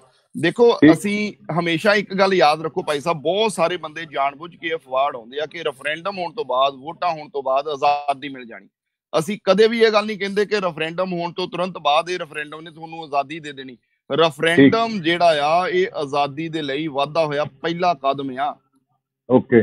ਸੋ ਹਜੇ ਤੱਕ ਤਾਂ ਅਸੀਂ ਆਪਣੀ ਲੜਾਈ ਨੂੰ ਇੰਟਰਨੈਸ਼ਨਲ ਟੇਬਲ ਦੇ ਉੱਤੇ ਵੀ ਨਹੀਂ ਲਿਜਾ ਸਕੇ। ਦਵਿੰਦਰਜੀਤ ਸਿੰਘ ਜੀ ਸਾਡਾ ਮੇਰਾ ਖੁਦ ਦਾ ਵੀ ਜੋ ਆਵਾਜ਼ਕਮ ਟੀਵੀ ਦਾ ਇਹ ਨਿਗਾ ਮਾਤੇ ਵੀ ਅਸੀਂ ਤੁਹਾਨੂੰ ਜਿਹੜਾ ਇਹ ਸਵਾਲ ਕਿਉਂ ਕਰ ਰਹੇ ਹਾਂ? ਕਿਉਂਕਿ ਜੇ ਤੁਸੀਂ ਕਲੀਅਰ ਨਹੀਂ ਕਰੋਗੇ ਪਬਲਿਕ ਨੂੰ ਦੱਸੋਗੇ ਨਹੀਂ ਤੇ ਲੋਕਾਂ ਨੂੰ ਪਤਾ ਕਿੱਦਾਂ ਲੱਗੂ। ਮੈਂ ਖੁਦ ਚਾਹਣਾ ਤੁਸੀਂ ਮੈਨੂੰ ਜਿੱਦਾਂ ਦੇ ਵੀ ਸਵਾਲ ਕਰਨੇ ਆ ਤੁਸੀਂ ਕਰ ਸਕਦੇ ਹੋ ਕਿਉਂਕਿ ਇਹ ਮੈਂ ਤੁਹਾਡੇ ਗੱਲ ਨਾਲ ਤੁਹਾਡੇ ਪੁਆਇੰਟ ਨਾਲ ਬਿਲਕੁਲ ਸਹਿਮਤ ਆ ਅਸੀਂ ਆਪ ਖੁਦ ਜਦੋਂ ਵੀ ਕਿਸੇ ਵੀ ਮੀਡੀਆ ਤੇ ਜਾਂਦੇ ਆ ਅਸੀਂ ਉਹਨਾਂ ਨੂੰ ਹੱਥ ਬੰਨ ਕੇ ਪਹਿਲਾਂ ਜਾ ਕੇ ਬੇਨਤੀ ਕਰਦੇ ਆ ਤੁਸੀਂ ਜਿੰਨੇ ਵੀ ਸਵਾਲ ਜਿਹੜੇ ਆ ਪੁੱਛਦੇ ਨੇ ਸਾਡੇ ਤੋਂ ਕਹਿ ਲੋ ਕਿ ਰੈਫਰੈਂਡਮ ਦਾ ਵਿਰੋਧ ਕਰਨ ਵਾਲੇ ਉਹ ਸਵਾਲ ਸਾਨੂੰ ਖੁੱਲੇ ਆਮ ਟੀਵੀ ਤੇ ਪੁੱਛੋ ਨਾ ਕਿ ਸਾਨੂੰ ਪਿੱਛੇ ਬਿਠਾ ਕੇ ਸੋਫੇ ਤੇ ਪੁੱਛੋ। ਸਾਨੂੰ ਆਨਲਾਈਨ ਲੈ ਕੇ ਜਾਓ ਮੀਡੀਆ ਤੇ ਲੈ ਕੇ ਜਾਓ ਉੱਥੇ ਸਵਾਲ ਕਰੋ ਤੇ ਅਸੀਂ ਜਵਾਬ ਦੇਵਾਂਗੇ। ਹਾਂਜੀ ਹਾਂਜੀ। ਤੇ ਹੁਣ ਗੱਲ ਆ ਗਈ ਜਿੱਦਾਂ ਤੁਸੀਂ ਗੱਲ ਕਰਤੀ ਵੀ ਜਿਹੜਾ ਤੁਸੀਂ ਆ ਤਿੰਨ ਚਾਰ ਕੰਟਰੀਆਂ ਦੇ ਨਾਂ ਲਿਆ ਬਈ ਉਹ ਨਾਨ ਰੀਫਰੈਂਡਮ ਕਰਾ ਕੇ ਉਹਨਾਂ ਦਾ ਮਤਲਬ ਜਿਹੜੀ ਆ ਲੜਾਈ ਆ ਜਾਂ ਉਹ ਉਹਨਾਂ ਨੇ ਕੁਝ ਨਾ ਕੁਝ ਪ੍ਰਾਪਤੀ ਕਰ ਲਈ ਆ। ਤੁਸੀਂ ਦੇਖੋ ਭਾਈ ਸਾਹਿਬ ਤੁਹਾਨੂੰ ਮੈਂ ਇੱਕ ਇੱਕ ਹੁਣ ਹੋਰ ਐਗਜ਼ਾਮਪਲ ਦੇ ਦਿੰਦਾ। ਦੇਖੋ ਜਿਹੜਾ ਸਮਾਲੀਆ ਆ ਮੈਨੂੰ ਪਤਾ ਨਹੀਂ ਇਸ਼ੂ ਇਹੀ ਆ ਨਾ ਜੇ ਜੇ ਤੁਸੀਂ ਇਹ ਇਹ ਸੰਘਰਸ਼ ਲੜਨਾ ਆ ਤੇ ਤੁਹਾਨੂੰ ਆਪ ਤੁਹਾਨੂੰ ਵਰਲਡ ਵਾਈਡ ਪਤਾ ਹੋਣਾ ਚਾਹੀਦਾ ਪੂਰੀ ਦੁਨੀਆ ਦੀ ਪੋਲਿਟਿਕਸ ਦੁਨੀਆ ਵਿੱਚ ਕਿਹੜੀ ਕੌਮ ਕਿੱਥੇ ਲੜ ਰਹੀ ਆ? ਸਮਾਲੀਆ ਸਮਾਲੀਆ ਦੇ ਵਿੱਚ ਦੋ ਉਹਨਾਂ ਦੇ ਵੀ ਗਰੁੱਪ ਜਿਹੜੇ ਆ ਉਹ ਲੜਾਈ ਲੜਾਈ ਲੜਦੇ ਸੀ ਸਮਾਲੀਆ ਦੇ ਨਾਲ। ਉਹਨਾਂ ਨੇ ਸਮਾਲੀਲੈਂਡ ਆਪਣਾ ਕੰਟਰੀ ਬਣਾ ਲਿਆ। ਲੇਕਿਨ ਸਮਾਲੀਲੈਂਡ ਦੇ ਕੋਲ ਆਪਣੀ ਉਹਨਾਂ ਦੇ ਕੋਲ ਆਪਣੀ ਇਕਨੋਮੀ ਵੀ ਆ ਆਪਣੀ ਪੁਲਿਸ ਵੀ ਆ ਉਹਨਾਂ ਕੋਲ ਆਪਣਾ ਸਿਸਟਮ ਆ ਆਪਣੀ ਉਹਨਾਂ ਨੇ ਬਾਉਂਡਰੀਜ਼ ਵੀ ਕਰ ਲਈਆਂ। ਸੋ ਸਮਾਲੀਆ ਜਿਹੜਾ ਸਮਾਲੀਆ ਆ ਉਹਦੇ ਵਿੱਚੋਂ ਹੀ ਇੱਕ ਸਮਾਲੀਲੈਂਡ ਕੰਟਰੀ ਉਹਨਾਂ ਨੇ ਵੱਖਰਾ ਬਣਾ ਲਿਆ। ਲੇਕਿਨ ਸਮਾਲੀਲੈਂਡ ਵਾਲੇ ਆਪਣੀ ਕੰਟਰੀ ਚੋਂ ਬਾਹਰ ਵੀ ਨਹੀਂ ਨਿਕਲ ਸਕਦੇ ਇੰਨੇ ਸੋਰਸਸ ਹੋਣ ਦੇ ਬਾਵਜੂਦ ਵੀ। ਉਹਦਾ ਕਾਰਨ ਇਹ ਆ ਕਿਉਂਕਿ ਉਹਨਾਂ ਨੂੰ ਰੈਕੋਗਨੀਸ਼ਨ ਇੱਕ ਵੀ ਸਿੰਗਲ ਕੰਟਰੀ ਨੇ ਨਹੀਂ ਦਿੱਤੀ। ਠੀਕ। ਸੋ ਸਮਾਲੀਲੈਂਡ ਜਿਹੜਾ ਆ ਉਹ ਇੱਕ ਟ੍ਰੈਪਡ ਲੈਂਡ ਬਣ ਚੁੱਕਾ ਆ। ਨਾ ਉਤੋਂ ਦੇ ਲੋਕ ਬਾਹਰ ਜਾ ਸਕਦੇ ਆ ਤੇ ਜੇ ਬਾਹਰੋਂ ਕਿਸੇ ਨੇ ਅੰਦਰ ਜਾਣਾ ਉਹਨਾਂ ਨੂੰ ਡਿਫਰੈਂਟ ਰੂਟ ਥਾਣੀ ਲੈ ਕੇ ਜਾਣਾ ਪੈਂਦਾ ਆ। ਸੋ ਇਹ ਇਹ ਜਿਹੜਾ ਜਿਹੜਾ ਰੈਫਰੈਂਡਮ ਆ ਨਾਨ ਬਾਈਂਡਿੰਗ ਰੈਫਰੈਂਡਮ ਹਜੇ ਤਾਈਂ ਤਾਂ ਤੁਹਾਡੀ ਗੱਲ ਤੁਸੀਂ ਮੈਨੂੰ ਦੱਸੋ ਕਿ ਯੂਨਾਈਟਿਡ ਨੇਸ਼ਨਸ ਦੇ ਵਿੱਚ ਕਦੇ ਵੀ ਟੇਬਲ ਦੇ ਉੱਤੇ ਖਾਲਿਸਤਾਨ ਦੇ ਵਿਸ਼ੇ ਤੇ ਇੰਡੀਆ ਦੇ ਨਾਲ ਜਾਂ ਕਿਸੇ ਹੋਰ ਕੰਟਰੀਆਂ ਦੇ ਥਰੂ ਕਦੇ ਵੀ ਸਾਂਝੇ ਰੂਪ ਦੇ ਵਿੱਚ ਗੱਲ ਹੀ ਨਹੀਂ ਹੋਈ। ਕਸ਼ਮੀਰ ਦੇ ਮੁੱਦੇ ਤੇ ਕਈ ਵਾਰ ਗੱਲ ਹੋਈ ਆ। ਲੇਕਿਨ ਜਿਹੜਾ ਖਾਲਿਸਤਾਨ ਦਾ ਮਸਲਾ ਆ ਪੰਜਾਬ ਦਾ ਮਸਲਾ ਉਹਦੀ ਤਾਂ ਇੰਟਰਨੈਸ਼ਨਲ ਲੈਵਲ ਤੇ ਹਜੇ ਤਾਈਂ ਡਿਸਪਿਊਟ ਹੀ ਹੈ ਨਹੀਂ। ਲੜਨਾ ਲੈਣਾ ਮੁਲਕ ਦਾ ਦੂਜੇ ਪਾਸੇ ਰਹਿ ਗਈ ਗੱਲ। ਦਵਿੰਦਰਜੀਤ ਸਿੰਘ ਜਿੱਦਾਂ ਤੁਸੀਂ ਕਸ਼ਮੀਰ ਦਾ ਵਿੱਚ ਇਸ਼ੂ ਲਿਆਂਦਾ, ਜੇ ਆਪਾਂ ਕਸ਼ਮੀਰ ਦੀ ਗੱਲ ਕਰ ਲਈਏ, ਜਿੱਦਾਂ 1947 ਦੀ ਜਾਂ ਜਿੱਦਾਂ ਆਪਾਂ ਨੂੰ ਜਦੋਂ ਹਿਸਟਰੀ ਪੜ੍ਹਦੇ ਵੀ ਉਹਨਾਂ ਨੂੰ ਵੀ ਹੱਕ ਮਿਲਿਆ ਹੀ ਰੀਫਰੈਂਡਮ ਕਰਾਉਣ ਦਾ।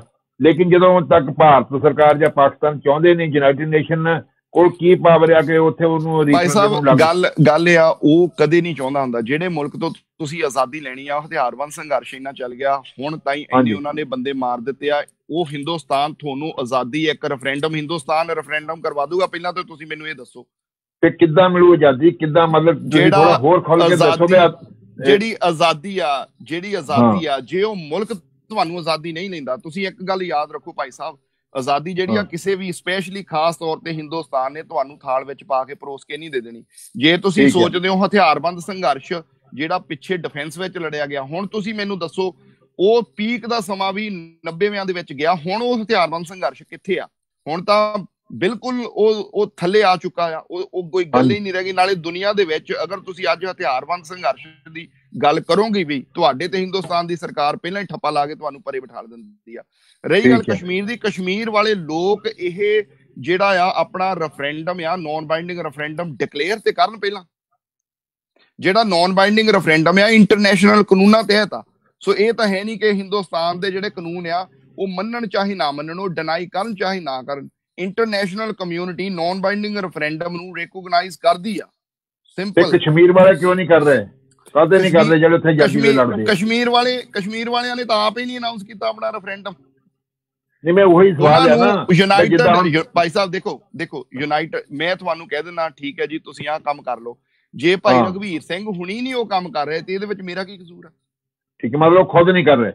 ਦੇਖੋ ਯੂਨਾਈਟਡ ਨੇਸ਼ਨ ਦੇ ਵਿੱਚ ਉਹਨਾਂ ਦੀ ਪਲੇਬਿਸਾਈਡ ਡਿਕਲੇਅਰ ਹੋ ਚੁੱਕੀ ਆ। ਇਹ ਤੁਹਾਨੂੰ ਵੀ ਪਤਾ ਸਾਨੂੰ ਵੀ ਪਤਾ ਸਾਰੀ ਦੁਨੀਆ ਨੂੰ ਪਤਾ। ਜੇ ਕਸ਼ਮੀਰੀ ਹੀ ਨਹੀਂ ਕਰ ਰਹੇ ਜੇ ਉਹ ਹਿੰਦੁਸਤਾਨ ਪਲੇਬਿਸਾਈਡ ਨਹੀਂ ਕਰਵਾਉਂਦਾ ਤੇ ਕਸ਼ਮੀਰੀ ਨਾਨ ਬਾਈਂਡਿੰਗ ਰੈਫਰੈਂਡਮ ਕਰਵਾ ਲੈਣ। ਹਾਂ ਇਹ ਸਵਾਲ ਸੀਗਾ ਤਾਂ ਕਿ ਕਿਉਂਕਿ ਜੇ ਆਪਾਂ ਲੋਕਾਂ ਦੇ ਮਨਾਂ 'ਚ ਸਵਾਲ ਆਉਂਦਾ ਵੀ ਕਸ਼ਮੀਰ ਜਿਹੜਾ ਗਵਾਂਢ ਆ ਉਹ ਕਰਾ ਨਹੀਂ ਰਿਹਾ ਤੇ ਪੰਜਾਬ ਜਾਂ ਸਿੱਖ ਖਾਲਿਸਤਾਨ ਇਹ ਰੈਫਰੈਂਡਮ 2020 ਵਾਲੇ ਕਿਉਂ ਕਰਾ ਰਹੇ ਆ? ਦੇਖੋ ਨਾਨ ਬਾਈਂਡਿੰਗ ਰੈਫਰੈਂਡਮ ਜਿਹੜਾ ਆ ਉਹ ਰਸਤਾ ਖੋਲਦਾ ਤੁਹਾਡਾ ਆਜ਼ਾਦੀ ਵੱਲ ਨੂੰ। ਉਹਦੇ ਨਾਲ ਡਿਸਪਿਊਟ ਉਹਦੇ ਨਾਲ ਇਹ ਸੰਘਰਸ਼ ਨੂੰ ਇੱਕ ਹੋਰ ਜਿਹੜਾ ਆ ਅਗਲਾ ਪੜਾ ਮਿਲਣਾ ਆ। ਇਹ ਇਹ ਜਿਹੜੀ ਲੜਾਈ ਆ ਤੁਸੀਂ ਮੈਨੂੰ ਦੱਸੋ ਜੇ ਉਹ ਤੁਹਾਡਾ ਬੰਦਾ ਮਾਰ ਦਿੰਦੇ ਤੁਸੀਂ ਤੁਸੀਂ ਇੱਕ ਉਹਨਾਂ ਦਾ ਬੰਦਾ ਮਾਰ ਦੋਗੇ ਇਹਦੇ ਨਾਲ ਆਜ਼ਾਦੀ ਕਿੱਦਾਂ ਮਿਲੂਗੀ? ਠੀਕ ਹੈ। ਸੋ ਇਹਦੇ ਲਈ ਤੁਹਾਨੂੰ ਜਿਹੜਾ ਇੰਟਰਨੈਸ਼ਨਲ ਲੈਵਲ ਤੇ ਸਟੈਪ ਚੱਕਣੇ ਪੈਣੇ ਆ ਜਿਹਦੇ ਵਿੱਚੋਂ ਨਾਨ ਬਾਈਂਡਿੰਗ ਰੈਫਰੈਂਡਮ ਆ ਉਹ ਇੱਕ ਪਹਿਲਾ ਸਟੈਪ ਆ। ਤੇ ਇਹ ਤਾਂ ਹੋ ਗਿਆ ਚਲੋ ਤੁਸੀਂ ਜਿਹੜੀ ਮੂਵਮੈਂਟ ਕਰ ਰਹੇ ਆ ਸਿਗਨੇਚਰ ਦੀ ਵੀ ਸ਼ੁਰੂ ਕਰਤੀ ਆ VOTING ਦੀ ਵੀ ਸ਼ੁਰੂ ਕਰਤੀ ਆ। ਇਹਦੇ ਨਾਲ ਹੀ ਜਿੱਦਾਂ ਵਿਦੇਸ਼ਾਂ ਦੇ ਵਿੱਚ ਜਿਹੜੀਆਂ ਹਮ ਖਿਆਲੀ ਜਥੇਬੰਦੀਆਂ ਜਾਂ ਹਮ ਖਿਆਲੀ ਲੋਕ ਆ ਉਹਨਾਂ ਨੂੰ ਆਪਣੇ ਨਾਲ ਜੋੜਨ ਲਈ ਆਪਣੀ ਮੂਵਮੈਂਟ ਦੇ ਨਾਲ ਜੋੜਨ ਲਈ ਕੀ ਉਪਰਾਲਾ ਕਰ ਰਹੇ ਆ ਜਾਂ ਕੀ ਤੁਹਾਡਾ ਅਗਲਾ ਪੜਾਅ ਆ ਉਹਦੇ ਲਈ?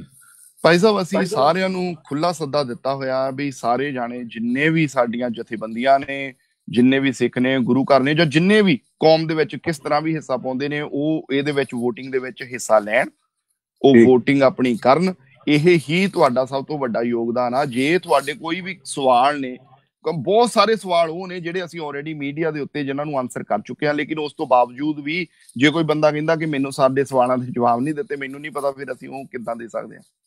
ਹਾਂਜੀ ਕਿਉਂਕਿ ਅਸੀਂ ਤਾਂ ਓਪਨਲੀ ਦਿੱਤੇ ਆ ਜਵਾਬ। ਕਿਉਂਕਿ ਜਥੇਬੰਦੀਆਂ ਦੀ ਦਵਿੰਦਰਜੀਤ ਸਿੰਘ ਜੀ ਤਾਂ ਗੱਲ ਕਰ ਰਿਹਾ ਕਿਉਂਕਿ ਜਥੇਬੰਦੀ ਦੇ ਨਾਲ ਸੰਬੰਧਿਤ ਤਕਰੀਬਨ ਕਾਫੀ ਲੋਕਾਂ ਨਾਲ ਜਦੋਂ ਵਿਚਾਰ ਵਟਾਂਦਰਾ ਹੁੰਦੇ ਉਹ ਕਹਿੰਦੇ ਸਾਡੇ ਨਾਲ ਸਲਾਹ ਨਹੀਂ ਕਰਦੇ। ਹੁਣ ਇਹ ਨਹੀਂ ਪਤਾ ਤੁਸੀਂ ਕਹਿੰਦੇ ਖੁੱਲਾ ਸੱਦਾ ਦਿੱਤਾ ਉਹ ਕਹਿੰਦੇ ਸਲਾਹ ਨਹੀਂ ਕਰਦੇ। ਇਹ ਗੈਪ ਕਿੱਥੇ ਆ? ਦੇਖੋ ਦੇਖੋ ਸਲਾਹ ਸਲਾਹ ਕਿਸ ਚੀਜ਼ ਦੀ? ਕਿ ਰੈਫਰੈਂਡਮ ਕਰਵਾਈਏ ਜਾਂ ਨਾ ਕਰਵਾਈਏ? ਨਹੀਂ ਨਹੀਂ ਸਲਾਹ ਵੀ ਉਹਨਾਂ ਨੂੰ ਵਿਚਾਰ ਵਟਾਂਦਰਾ ਜਿਹਦਾ ਬੈ ਕੇ ਬੈਠ ਕੇ ਜਾਂ ਮੀਟਿੰਗ ਕਰਕੇ ਕੋਈ ਇਦਾਂ ਦੀ ਗੱਲਬਾਤ ਨਹੀਂ ਕੀਤੀ ਅਸੀਂ ਤਾਂ ਅਸੀਂ ਤਾਂ ਕਿਸੇ ਨੂੰ ਨਹੀਂ ਕਿਹਾ ਵੀ ਸਾਡੇ ਨਾਲ ਮੀਟਿੰਗ ਨਹੀਂ ਹੋ ਸਕਦੀ। ਅਸੀਂ ਤਾਂ ਮੀਡੀਆ ਨੂੰ ਵੀ ਤੁਹਾਨੂੰ ਵੀ ਜਿਵੇਂ ਮੈਂ ਤੁਹਾਡੇ ਤੋਂ ਪਹਿਲਾਂ ਮੈਂਸ਼ਨ ਕੀਤਾ ਕਿ ਅਸੀਂ ਤਾਂ ਓਪਨ 에ਅਰ ਤੇ ਅਸੀਂ ਤਾਂ ਪਿੱਛੇ ਵੀ ਨਹੀਂ ਬੈਕ ਡੋਰ ਦੇ ਵੀ ਨਹੀਂ ਕੋਈ ਗੱਲ ਕਰਨੀ ਚਾਹੁੰਦੇ। ਅਸੀਂ ਤਾਂ ਓਪਨਲੀ ਕਹਿੰਦੇ ਆ ਕਿ ਟੀਵੀ ਤੇ ਬੈਠੋ ਤੁਸੀਂ ਗੱਲ ਕਰ ਲਓ। ਚਾਹੇ ਕੋਈ ਵੀ ਜੇ ਕੋਈ ਸਾਡੇ ਨਾਲ ਗੱਲ ਕਰਨੀ ਚਾਹੁੰਦਾ ਅਸੀਂ ਕਦੇ ਵੀ ਦਰਵਾਜ਼ੇ ਨਹੀਂ ਬੰਦ ਕੀਤੇ।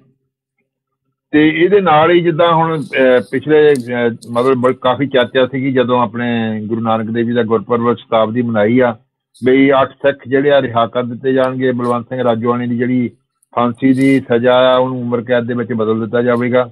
ਲੇਕਿਨ ਦੋ ਸਿੱਖ ਮੇਰੇ ਖਿਆਲ ਦੇ ਰਿਹਾ ਹੋਇਆ ਤੇ ਉਸ ਤੋਂ ਬਾਅਦ ਜਿਹੜਾ ਮਸਲਾ ਲਟ ਗਿਆ ਸਦਨ ਦੇ ਵਿੱਚ ਜਿਹੜਾ ਉੱਥੇ ਦੇ ਗ੍ਰਹਿ ਮੰਤਰੀ ਆ ਅਮਿਤ ਸ਼ਾਹ ਨੇ ਉਹਨੇ ਕਲੀਅਰ ਕਰਤਾ ਕਿ ਅਸੀਂ ਕੋਈ ਇਹ ਗੱਲ ਕੀਤੀ ਨਹੀਂ ਇਹਦੇ ਬਾਵਜੂਦ ਜਿਹੜੇ ਵਿਦੇਸ਼ਾਂ ਦੇ ਵਿੱਚੋਂ ਜਥੇਬੰਦੀਆਂ ਜਾਂ ਆਪਾਂ ਇਹ ਕਹਿ ਲਈਏ ਖਾਲਸਤਾਨੀ ਆਗੂਆਂ ਦੇ ਨਾਲ ਹੀ ਉਹਨਾਂ ਨੂੰ ਯਾਦ ਕੀਤਾ ਜਾਂਦਾ। ਰਾਸ਼ਟਰਪਤੀ ਸੇਵਾ ਸਿੰਘ ਲੱਲੀ ਜਸਵੰਤ ਸਿੰਘ ਠੇਕੇਦਾਰ, ਬਲਵੀਰ ਸਿੰਘ ਬੈਂਸ ਤੇ ਹਰਦਵਿੰਦਰ ਜੀਤਿਆ, ਮੇਰੇ ਖਿਆਲ ਉਹ ਬਬਰ ਖਾਲਸਾ ਦੇ ਉੱਤੋਂ ਜਰਮਨੀ ਤੋਂ ਤੇ ਇਸੇ ਤਰ੍ਹਾਂ ਰਿਪੰਦੁਮਨ ਸਿੰਘ ਕੈਨੇਡਾ ਤੋਂ। ਉਹ ਗਏ ਉਹ ਕਹਿੰਦੇ ਵੀ ਅਸੀਂ ਉੱਥੇ ਜਾ ਕੇ ਮੀਟਿੰਗਾਂ ਕੀਤੀਆਂ ਤੇ ਅਸੀਂ ਸਿੱਖਾਂ ਨੂੰ ਰਿਹਾ ਕਰਾਉਣ ਲਈ ਜਿਹਨਾਂ ਉਹਨਾਂ ਨਾਲ ਵਾਪਸ ਲੈ ਕੇ ਗਏ ਤੇ ਮਿਲੇ ਆ। ਪਰ ਤੁਹਾਡੀਆਂ ਜਿਹੜੀਆਂ ਸਟੇਟਮੈਂਟ ਆ ਰਹੀਆਂ, ਤੁਸੀਂ ਕਹਿ ਰਹੇ ਆ ਕਿ ਇਹ ਸਿਰਫ ਤੇ ਸਿਰ 2020 ਜਿਹੜਾ ਤੁਹਾਡੀ ਮੂਵਮੈਂਟ ਆ, ਉਹਨੂੰ ਖਤਮ ਕਰਨ ਲਈ ਹੈ ਜਿਹੜੀ ਸਰਕਾਰ ਚਾਲ ਚੱਲ ਰਹੀ ਹੈ ਇਹਦੇ ਬਾਰੇ ਕੀ ਵਿਚਾਰ? ਨਹੀਂ ਦੇਖੋ ਜਿਹੜੀ ਸਟੇਟਮੈਂਟ ਤੁਸੀਂ ਇਹ ਇਹ ਦਿੱਤੀ ਆ, ਇਹ ਇਹ ਕਿਹਾ ਕਿ ਸਾਡੀਆਂ ਸਟੇਟਮੈਂਟਾਂ ਆ ਰਹੀਆਂ ਕਿ ਇਹ ਸਰਕਾਰ ਇਸ ਲਈ ਚਾਲ ਚੱਲ ਰਹੀ ਆ। ਅਸੀਂ ਤਾਂ ਇਹ ਸਟੇਟਮੈਂਟ ਜਿਹੜੀ ਅੱਜ ਤੋਂ 6 ਮਹੀਨੇ ਪਹਿਲਾਂ ਵੀ ਦੇ ਦਿੱਤੀ ਸੀ। ਠੀਕ। ਸੋ ਬਹੁਤ ਸਾਰੀਆਂ ਜੇ ਇਹ ਆਪ ਤੁਸੀਂ ਦੇਖੋ ਕਿ ਸਵਾਲ ਜਿਹੜੇ ਨੇ ਸਰਕਾਰ ਜਿਹੜਾ ਗੱਲਾਂ ਦਾ ਭੰਬਲ ਭੂਸਾ ਰੈਫਰੈਂਡਮ ਨੂੰ ਲੈ ਕੇ ਲੋਕਾਂ 'ਚ ਪਾਉਣ ਦੀ ਕੋਸ਼ਿਸ਼ ਕੀਤੀ ਜਾਂਦੀ ਆ ਲੇਕਿਨ ਸਾਡੇ ਕੁਝ ਬੰਦੇ ਜੇ ਉਹੀ ਗੱਲਾਂ ਕਰਕੇ ਲੋਕਾਂ ਦੇ ਵਿੱਚ ਦੁਬਾਰਾ ਸਾਨੂੰ ਉਹੀ ਸਵਾਲ ਕਰਦੇ ਨੇ ਜਿਹੜੇ ਸਰਕਾਰ ਕਰਦੀ ਆ ਸੋ ਇਹਦੇ ਤੋਂ ਸਾਨੂੰ ਨਹੀਂ ਪਤਾ ਕੀ ਅੰਦਾਜ਼ਾ ਲਾ ਜਾ ਸਕਦਾ। ਇਹ ਜਿਹੜੀਆਂ ਸਟੇਟਮੈਂਟਾਂ ਅਸੀਂ ਦਿੰਨੇ ਆ ਇਹ ਸਟੇਟਮੈਂਟਾਂ ਤਾਂ ਤਕਰੀਬਨ 6 ਮਹੀਨੇ ਪਹਿਲਾਂ ਦੀਆਂ ਸਾਡੀਆਂ ਆ ਰਹੀਆਂ ਕਿ ਜਿਹੜੀ ਸਰਕਾਰ ਆ ਆਉਣ ਵਾਲੇ ਸਮੇਂ ਦੇ ਵਿੱਚ ਰੈਫਰੈਂਡਮ ਜਿਹੜਾ ਆ 2020 ਦੇ ਵਿੱਚ ਹੋਣਾ ਆ ਉਹਨੂੰ ਤਾਰੋ ਪੀੜ ਕਰਨ ਦੇ ਲਈ ਸਰਕਾਰ ਜਿਹੜੀ ਆ ਆਪੋ ਆਪਣੇ ਤਰੀਕੇ ਨਾਲ ਯਤਨ ਕਰ ਰਹੀ ਆ ਤੁਹਾਡੇ ਵਿੱਚ ਬੇਇਤਫਾਕੀ ਪੈਦਾ ਕਰ ਰਹੀ ਆ। ਇਹ ਜਿਹੜੇ ਬੰਦਿਆਂ ਦਾ ਜਾਣ ਆਉਣ ਵਾਲਾ ਸਿਲਸਿਲਾ ਹੀ ਹੁਣ ਦਾ ਨਹੀਂ ਚੱਲਦਾ ਭਾਈ ਸਾਹਿਬ ਇਹ ਪਿਛਲੇ ਕਾਫੀ ਸਮੇਂ ਤੋਂ ਚੱਲ ਰਿਹਾ ਆ। ਸੋ ਇਸ਼ੂ ਇਸ਼ੂ ਇਹ ਹੋ ਜਾਂਦਾ ਕਿ ਜਦੋਂ ਕੋਈ ਬੰਦਾ ਸਾਡੇ ਵਿੱਚ ਪ੍ਰੋਬਲਮ ਇਹ ਆ ਜਦੋਂ ਕੋਈ ਬੰਦਾ ਅਸੀਂ ਤਾਂ ਕੋਈ, ਤਕਰੀਬਨ ਤੁਸੀਂ ਸਾਡੀ ਨੋਟਿਸ ਕਰਦੇ ਹੋਣੇ ਆ ਸੋਸ਼ਲ ਮੀਡੀਆ ਵੀ, ਵੈਸੇ ਵੀ। ਅਸੀਂ ਜਿਹੜੇ ਕੌਮ ਦੇ ਇੰਟਰਨਲ ਮਸਲੇ ਆ, ਅਸੀਂ ਉਹਨਾਂ ਨੂੰ ਬਹੁਤ ਘੱਟ ਛੂਨੇ ਅੱਬਲ ਤੇ ਕਦੇ ਅਸੀਂ ਕੋਈ ਕਮੈਂਟ ਕਰਦੇ ਨਹੀਂ, ਨਾ ਸਾਡੇ, ਅਸੀਂ ਕੋਈ ਜਿਹੜੇ ਸਿੱਖ ਪ੍ਰਚਾਰਕ ਆ, ਨਾ ਤਾਂ ਸਾਡਾ ਏਜੰਡਾ ਹੁੰਦਾ ਕਿ ਉਹਨਾਂ ਦੇ ਉੱਤੇ ਗੱਲ ਕੀਤੀ ਜਾਵੇ, ਨਾ ਹੀ ਸਾਡਾ ਏਜੰਡਾ ਹੁੰਦਾ ਏ। ਕਿਉਂਕਿ ਸਰਕਾਰ ਜਿਹੜੀ ਆ, ਇਹ ਇਹ ਇਹ ਸਾਰੇ ਉਹਨਾਂ ਦੇ ਤਰੀਕੇ ਹੁੰਦੇ ਆ, ਤੁਹਾਨੂੰ ਤਾਰੋ ਪੀੜ ਕਰਨ ਦੇ ਲਈ, ਤੁਹਾਨੂੰ ਆਪਸ ਵਿੱਚ ਤੁਹਾਡੀ એનર્ਜੀ ਲਵਾਉਣ ਲਈ, ਤਾਂ ਕਿ ਉਹਨਾਂ ਵੱਲੋਂ ਤੁਹਾਡਾ ਧਿਆਨ ਹਟੇ ਤੇ ਆਪਸ ਵਿੱਚ ਲੱਗੇ।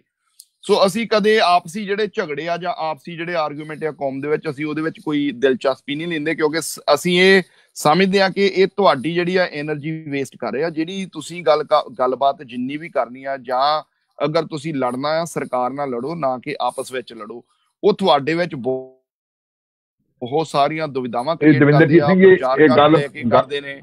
ਹਾਂਜੀ ਇਹ ਗੱਲ ਮੈਂ ਤਾਂ ਕਰ ਰਿਹਾ ਕਿਉਂਕਿ ਜਿਹੜੇ ਬੰਦਿਆਂ ਬੰਦਿਆਂ ਦੇ ਮੈਂ ਨਾਂ ਲਿਆ ਉਹਨਾਂ ਦੇ ਵਿੱਚੋਂ ਮੋਸਟਲੀ ਬਿਲਕੁਲ ਜੇ ਜਿਹੜਾ ਦੇ ਤੁਸੀਂ ਨਾਂ ਲੈਨੇ ਤੁਸੀਂ ਇਹ ਗੱਲਾਂ ਜਿਹੜੀਆਂ ਆ ਜੇ ਉਹ ਕਿਸੇ ਵੀ ਤਰੀਕੇ ਨਾਲ ਮਿਲ ਕੇ ਆਏ ਆ ਜਾਂ ਕੁਝ ਵੀ ਕਰਕੇ ਆਏ ਆ ਤੁਸੀਂ ਇਹ ਸਵਾਲ ਉਹਨਾਂ ਨੂੰ ਪੁੱਛੋ ਤਾਂ ਕਿ ਉਹ ਹੀ ਇਹਨਾਂ ਦਾ ਜਵਾਬ ਦੇ ਸਕਦੇ ਆ। ਉਹਨਾਂ ਦੇ ਬਿਹਾਫ ਦੇ ਉੱਤੇ ਮੈਂ ਤਾਂ ਕੋਈ ਜਵਾਬ ਨਹੀਂ ਦੇ ਸਕਦਾ। ਮੈਂ ਮੈਂ ਉਹਨਾਂ ਦੇ ਬਿਹਾਫ ਉਹਨਾਂ ਦੇ ਬਿਹਾਫ ਤੇ ਤੁਹਾਡੇ ਤੋਂ ਜਵਾਬ ਨਹੀਂ ਮੰਗਦਾ। ਮੈਂ ਤੁਹਾਡੀ ਜਥੇਬੰਦੀ ਨਾ ਤਾਂ ਤੁਹਾਨੂੰ ਸਵਾਲ ਕਰ ਰਿਹਾ ਵੀ ਕਿਸੇ ਨਾ ਕਿਸੇ ਪਾਸਿਓਂ ਵੀ ਸਿੱਖ ਫॉर ਜਸਟਿਸ ਦੇ ਨਾਲ ਜਿਹੜੀ ਪਿੱਛੇ ਜਥੇਬੰਦੀਆਂ ਦੀ ਸਪੋਰਟ ਹੁੰਦੀ ਹੈ ਉਹਨਾਂ ਦੀ ਵੀ ਸਪੋਰਟ ਰਹੀ ਆ। ਦੇਖੋ ਸਿੱਖ ਫॉर ਜਸਟਿਸ ਨੂੰ ਬਹੁਤ ਬੰਦੇ ਸਪੋਰਟ ਕਰਦੇ ਨੇ। ਹੁਣ ਮੈਂ ਤੁਹਾਨੂੰ ਇੱਕ ਐਗਜ਼ਾਮਪਲ ਦੇਣ ਲੱਗਾ। ਥੋੜਾ ਟਾਈਮ ਪਹਿਲਾਂ ਇੱਕ ਸ਼ਰਾਬੀ ਬੰਦਾ ਸੀ ਉਹਨੇ ਵੀਡੀਓ ਬਣਾ ਕੇ ਪਾ ਦਿੱਤੀ। ਉਹ ਪੱਬ ਦੇ ਵਿੱਚ ਬੈਠਾ ਸੀ ਉਹ ਆਜ਼ਾਦੀ ਦੇ ਉੱਤੇ ਬੋਲਣ ਲੱਗ ਗਿਆ ਰੈਫਰੈਂਡਮ 2020 ਨੂੰ ਸਪੋਰਟ ਕਰਨ ਲੱਗ ਗਿਆ। ਸੋ ਉਹਨੇ ਪੱਬ ਦੇ ਵਿੱਚ ਬੈਠੇ ਨੇ ਰੈਫਰੈਂਡਮ ਦੇ ਜਿਹੜੇ ਆ ਨਾਰੇ ਵੀ ਲਾ ਦਿੱਤੇ। ਹੁਣ ਸਾਡੇ ਕੋਲ ਕੁਝ ਬੰਦੇ ਉਹ ਵੀਡੀਓ ਲੈ ਕੇ ਆਏ। ਕਹਿੰਦੇ ਜੀ ਹੁਣ ਤੁਹਾਡੇ ਬੰਦੇ ਜਿਹੜੇ ਆ ਪੱਬਾਂ ਵਿੱਚ ਬੈਠਦੇ ਆ ਤੁਸੀਂ ਖਾਲਿਸਤਾਨ ਦੀ ਗੱਲ ਕਰਦੇ ਹੋ। ਹੁਣ ਦੇਖੋ ਅਸੀਂ ਤਾਂ ਉਹਦੇ ਜਵਾਬ ਦੇ ਨਹੀਂ ਹੈਗੇ। ਉਹ ਸਾਨੂੰ ਸਪੋਰਟ ਕਰਦਾ। ਇੱਕ ਬੰਦਾ ਆ ਉਹ ਸ਼ਰਾਬ ਪੀਣ ਵਾਲਾ ਉਹ ਸਾਨੂੰ ਸਪੋਰਟ ਕਰਦਾ ਪੱਬ ਦੇ ਵਿੱਚ ਬੈਠਾ ਆ ਉਹ। ਇਹ ਤਾਂ ਆਜ਼ਾਦੀ ਦੀ ਗੱਲ ਆ। ਜੇ ਉਹਨੂੰ ਅਧਿਕਾਰ ਆ ਆਜ਼ਾਦੀ ਦੀ ਗੱਲ ਕਰਨ ਦਾ ਫਿਰ ਅਸੀਂ ਉਹਨੂੰ ਕਿੱਦਾਂ ਰੋਕ ਸਕਦੇ ਹਾਂ ਉਹ ਸਾਡਾ ਰਿਪਰੈਜ਼ੈਂਟੇਟਿਵ ਤਾਂ ਹੈ ਨਹੀਂ ਜਿਹੜਾ ਅਸੀਂ ਉਹਨੂੰ ਕਹੀਏ ਵੀ ਤੂੰ ਸਾਡੀ ਗੱਲ ਨਹੀਂ ਕਰ ਸਕਦਾ ਜਾਂ ਪੱਬ ਵਿੱਚ ਬਹਿ ਕੇ ਨਹੀਂ ਕਰ ਸਕਦਾ ਜਾਂ ਤੂੰ ਗੁਰਦੁਆਰੇ ਨਹੀਂ ਕਰ ਸਕਦਾ। ਸੋ ਉਹ ਉਹਦੀ ਆਪਣੀ ਨਿੱਜੀ ਜ਼ਿੰਦਗੀ ਆ ਕਿਸੇ ਜੇ ਉਹ ਆਪਣੀ ਨਿੱਜੀ ਉਹਦੀ رائے ਆ ਉਹਨੂੰ ਲੱਗਦਾ ਕਿ ਰੈਫਰੈਂਡਮ ਦਾ ਰਾਹ ਜਿਹੜਾ ਆ ਇਹ ਕੌਮ ਦੇ ਲਈ ਚੰਗਾ ਰਾਹ ਆ ਇਸ ਤਰੀਕੇ ਨਾਲ ਸਾਨੂੰ ਆਜ਼ਾਦੀ ਦੇ ਲਈ ਜਿਹੜਾ ਅਸੀਂ ਅੱਗੇ ਕਦਮ ਵਧਾ ਸਕਦੇ ਆ ਜੇ ਉਹਨੂੰ ਉਹ ਠੀਕ ਲੱਗਦਾ ਤੇ ਉਹ ਸਪੋਰਟ ਕਰ ਦਿੰਦਾ ਜੇ ਉਹਨੂੰ ਨਹੀਂ ਠੀਕ ਲੱਗਦਾ ਤੇ ਉਹ ਆਪਣੀ ਵੋਟ ਜਿਹੜੀ ਆ ਨਾ ਚ ਪਾ ਸਕਦਾ ਸੋ ਇਸੇ ਤਰੀਕੇ ਨਾਲ ਕੋਈ ਵੀ ਬੰਦਾ ਬੇਸ਼ੱਕ ਆਜੋ ਹਿੰਦੁਸਤਾਨ ਜਾਂਦਾ ਚਾਹੇ ਨਹੀਂ ਜਾਂਦਾ ਚਾਹੇ ਉਹਦਾ ਤਾਂ ਆਉਣ ਵਾਲੇ ਸਮੇਂ ਵਿੱਚ ਚੱਲ ਜਾਵੇ ਚਾਹੇ ਪਿਛਲੇ ਸਮੇਂ 'ਚ ਗਿਆ ਹੋਵੇ ਜੇ ਉਹ ਸਾਨੂੰ ਸਪੋਰਟ ਕਰਦਾ ਇਹਦਾ ਮਤਲਬ ਇਹ ਨਹੀਂ ਕਿ ਅਸੀਂ ਉਹਦੇ ਲਈ ਕੁਝ ਵੀ ਕਹੀਏ ਜਾਂ ਜੇ ਸਾਨੂੰ ਕੋਈ ਸਪੋਰਟ ਨਹੀਂ ਕਰਦਾ ਤੇ ਅਸੀਂ ਉਹਦੇ ਉਹਦੇ ਪ੍ਰਤੀ ਦੂਸ਼ਣਬਾਜ਼ੀ ਕਰਨੀ ਸ਼ੁਰੂ ਕਰ ਦਈਏ। ਸੋ ਸਾਡਾ ਏਜੰਡਾ ਬਿਲਕੁਲ ਕਲੀਅਰ ਆ ਸਾਡਾ ਏਜੰਡਾ ਆ ਗਵਰਨਮੈਂਟ ਇੰਡੀਆ ਦੀ। ਸੋ ਸਾਡੀ ਲੜਾਈ ਆ ਪੰਜਾਬ ਦੀ ਲੜਾਈ ਆ ਸਿੱਖਾਂ ਦੀ ਲੜਾਈ ਆ ਸਰਕਾਰ ਦੇ ਨਾਲ। ਜਿਹੜੇ ਕੈਦੀਆਂ ਦੀ ਤੁਸੀਂ ਗੱਲ ਕੀਤੀ ਆ ਉਹਨਾਂ ਨੇ ਰਿਹਾ ਨਹੀਂ ਕੀਤੇ ਮੈਂ ਸਮਝਦਾ ਸਾਨੂੰ ਇੱਕੋ ਗੱਲ ਸਮਝ ਲੈਣੀ ਚਾਹੀਦੀ ਆ। ਉਹਨਾਂ ਨੇ ਕਦੀ ਨਹੀਂ ਭਾਈ ਸਾਹਿਬ ਰਿਹਾ ਕਰਨੇ।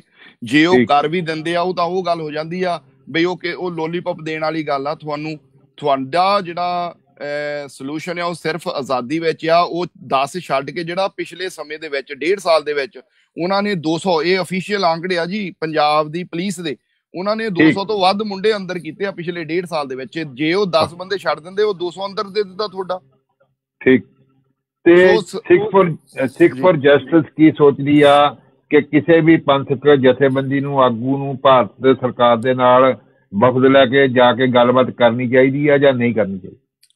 ਦੇਖੋ, ਗੱਲਬਾਤ ਜਿਹੜੀ ਜਾ ਕੇ ਉੱਥੇ ਵਫਦ ਦੀ ਗੱਲ ਕਰਨੀ ਆ, ਉਹ ਇੱਕ ਵੱਖਰਾ ਇਸ਼ੂ ਰਹਿ ਜਾਂਦਾ। ਪਹਿਲਾਂ ਤਾਂ ਇੱਥੇ ਆਪਾਂ ਆ ਜਾਈਏ ਕਿ ਅਸੀਂ ਇੰਨੇ ਜੋਗੇ ਹੋ ਗਏ ਆ ਕਿ ਇੰਡੀਆ ਦੇ ਨਾਲ ਬਹਿ ਕੇ ਟੇਬਲ ਤੇ ਗੱਲ ਕਰ ਰਹੀ ਜਾਂ ਇੰਡੀਆ ਤੁਹਾਡੇ ਨਾਲ ਬਹਿ ਕੇ ਟੇਬਲ ਤੇ ਤਿਆਰ ਗੱਲ ਕਰਨ ਨੂੰ ਤਿਆਰ ਹੋ ਜਾਊਗਾ। ਇੱਕ ਪਾਸੇ ਤੁਹਾਨੂੰ ਇਨਸਾਫ ਨਹੀਂ ਦਿੱਤਾ ਜਾ ਸਕਦਾ। ਕੱਲ ਪਰਸੋਂ ਦੀ ਤੁਹਾਡੇ ਮੋਰੇ ਐਗਜ਼ਾਮਪਲ ਆ ਤੁਹਾਡਾ ਇੱਕ ਗੁਰਦੁਆਰਾ ਢਾ ਦਿੱਤਾ ਤੁਹਾਡੇ ਤੋਂ ਕੁਝ ਨਹੀਂ ਹੋਇਆ। ਕਰਤਾਰਪੁਰ ਦਾ ਕੋਰੀਡੋਰ ਖੋਲਿਆ ਦੂਸਰੇ ਉਹਨਾਂ ਨੇ ਇੱਕ ਪਾਸੇ ਤੁਹਾਨੂੰ ਇੱਧਰ ਖੇਡਣ ਲਾ ਦਿੱਤਾ। ਕਰਤਾਰਪੁਰ ਵਾਲਾ ਕੋਰੀਡੋਰ ਖੋਲ ਕੇ ਉਹ ਦੂਸਰੇ ਪਾਸੇ ਉਹਨਾਂ ਨੇ ਜਿਹੜੇ ਮੁਸਲਮਾਨ ਆ ਉਹ ਬਾਬਰੀ ਮਸਜਿਦ ਦੇ ਜਿਹੜਾ ਆ ਉਹ ਉਹਨਾਂ ਉਹਨਾਂ ਦਾ ਨਾਲ ਤੁਹਾਨੂੰ ਵੀ ਪਤਾ ਉਹਦਾ ਕੀ ਡਿਸੀਜਨ ਆਇਆ ਨਾ ਉਹਨਾਂ ਦੇ ਖਿਲਾਫ ਡਿਸੀਜਨ ਦੇ ਦਿੱਤਾ। ਸੋ ਹਿੰਦੁਸਤਾਨ ਦੀ ਸਰਕਾਰ ਨੇ ਕਦੇ ਤੁਹਾਨੂੰ ਇਨਸਾਫ ਦੇਣਾ ਹੀ ਨਹੀਂ। ਤੁਹਾਡੇ ਨਾਲ ਗੱਲ ਕਰਨੀ ਤਾਂ ਬਹੁਤ ਦੂਰ ਦੀ ਗੱਲ ਆ। ਤੇ ਕੱਲ ਨੂੰ ਭਾਰਤ ਸਰਕਾਰ ਸਿੱਖ ਫॉर ਜਸਟਿਸ ਨੂੰ ਗੱਲਬਾਤ ਲਈ ਸੱਦਾ ਦਿੰਦੀ ਆ ਤੇ ਤੁਸੀਂ ਗੱਲਬਾਤ ਕਰਨ ਨੂੰ ਤਿਆਰ ਹੋ ਜਾਂ ਨਹੀਂ? ਦੇਖੋ ਜੀ ਪਹਿਲੀ ਗੱਲ ਤਾਂ ਸੱਦਾ ਹੋਣ ਦਾ ਨਹੀਂ ਸੱਦਾ ਤੇ ਉਹ ਬਹੁਤ ਚਿਰ ਦਾ ਦੇ ਰਹੇ ਆ। ਅੱਛਾ। ਉਹ ਬਹੁਤ ਚਿਰ ਦਾ ਦੇ ਰਹੇ ਆ ਵੀ ਸਾਡੇ ਨਾਲ ਆਣ ਕੇ ਗੱਲ ਕਰੋ। ਪਰ ਕਿਸ ਗੱਲ ਦੀ ਗੱਲ ਭਾਈ ਸਾਹਿਬ? ਸਿੱਖ ਆਜ਼ਾਦੀ ਚਾਹੁੰਦੇ ਨੇ। ਨਹੀਂ ਮੰਨ ਲਓ ਕੱਲ ਨੂੰ ਟੇਬਲ ਤੇ ਬਹਿਣਾ ਪੈਂਦਾ ਜਾਂ ਤੁਹਾਡੇ ਮੁੱਦਾ ਜਿਹੜੀ ਤੁਹਾਡੀ ਲੜਾਈ ਉੱਤੇ ਗੱਲਬਾਤ ਕਰਨ ਨੂੰ ਕਹਿੰਦੇ ਆ। ਸਾਡੀ ਸਾਡੀ ਪਹਿਲੀ ਗੱਲ ਤੇ ਲੜਾਈ ਆ ਨੌਨ ਬਾਈਂਡਿੰਗ ਰੈਫਰੈਂਡਮ ਠੀਕ ਹੈ ਨਾ ਜੀ?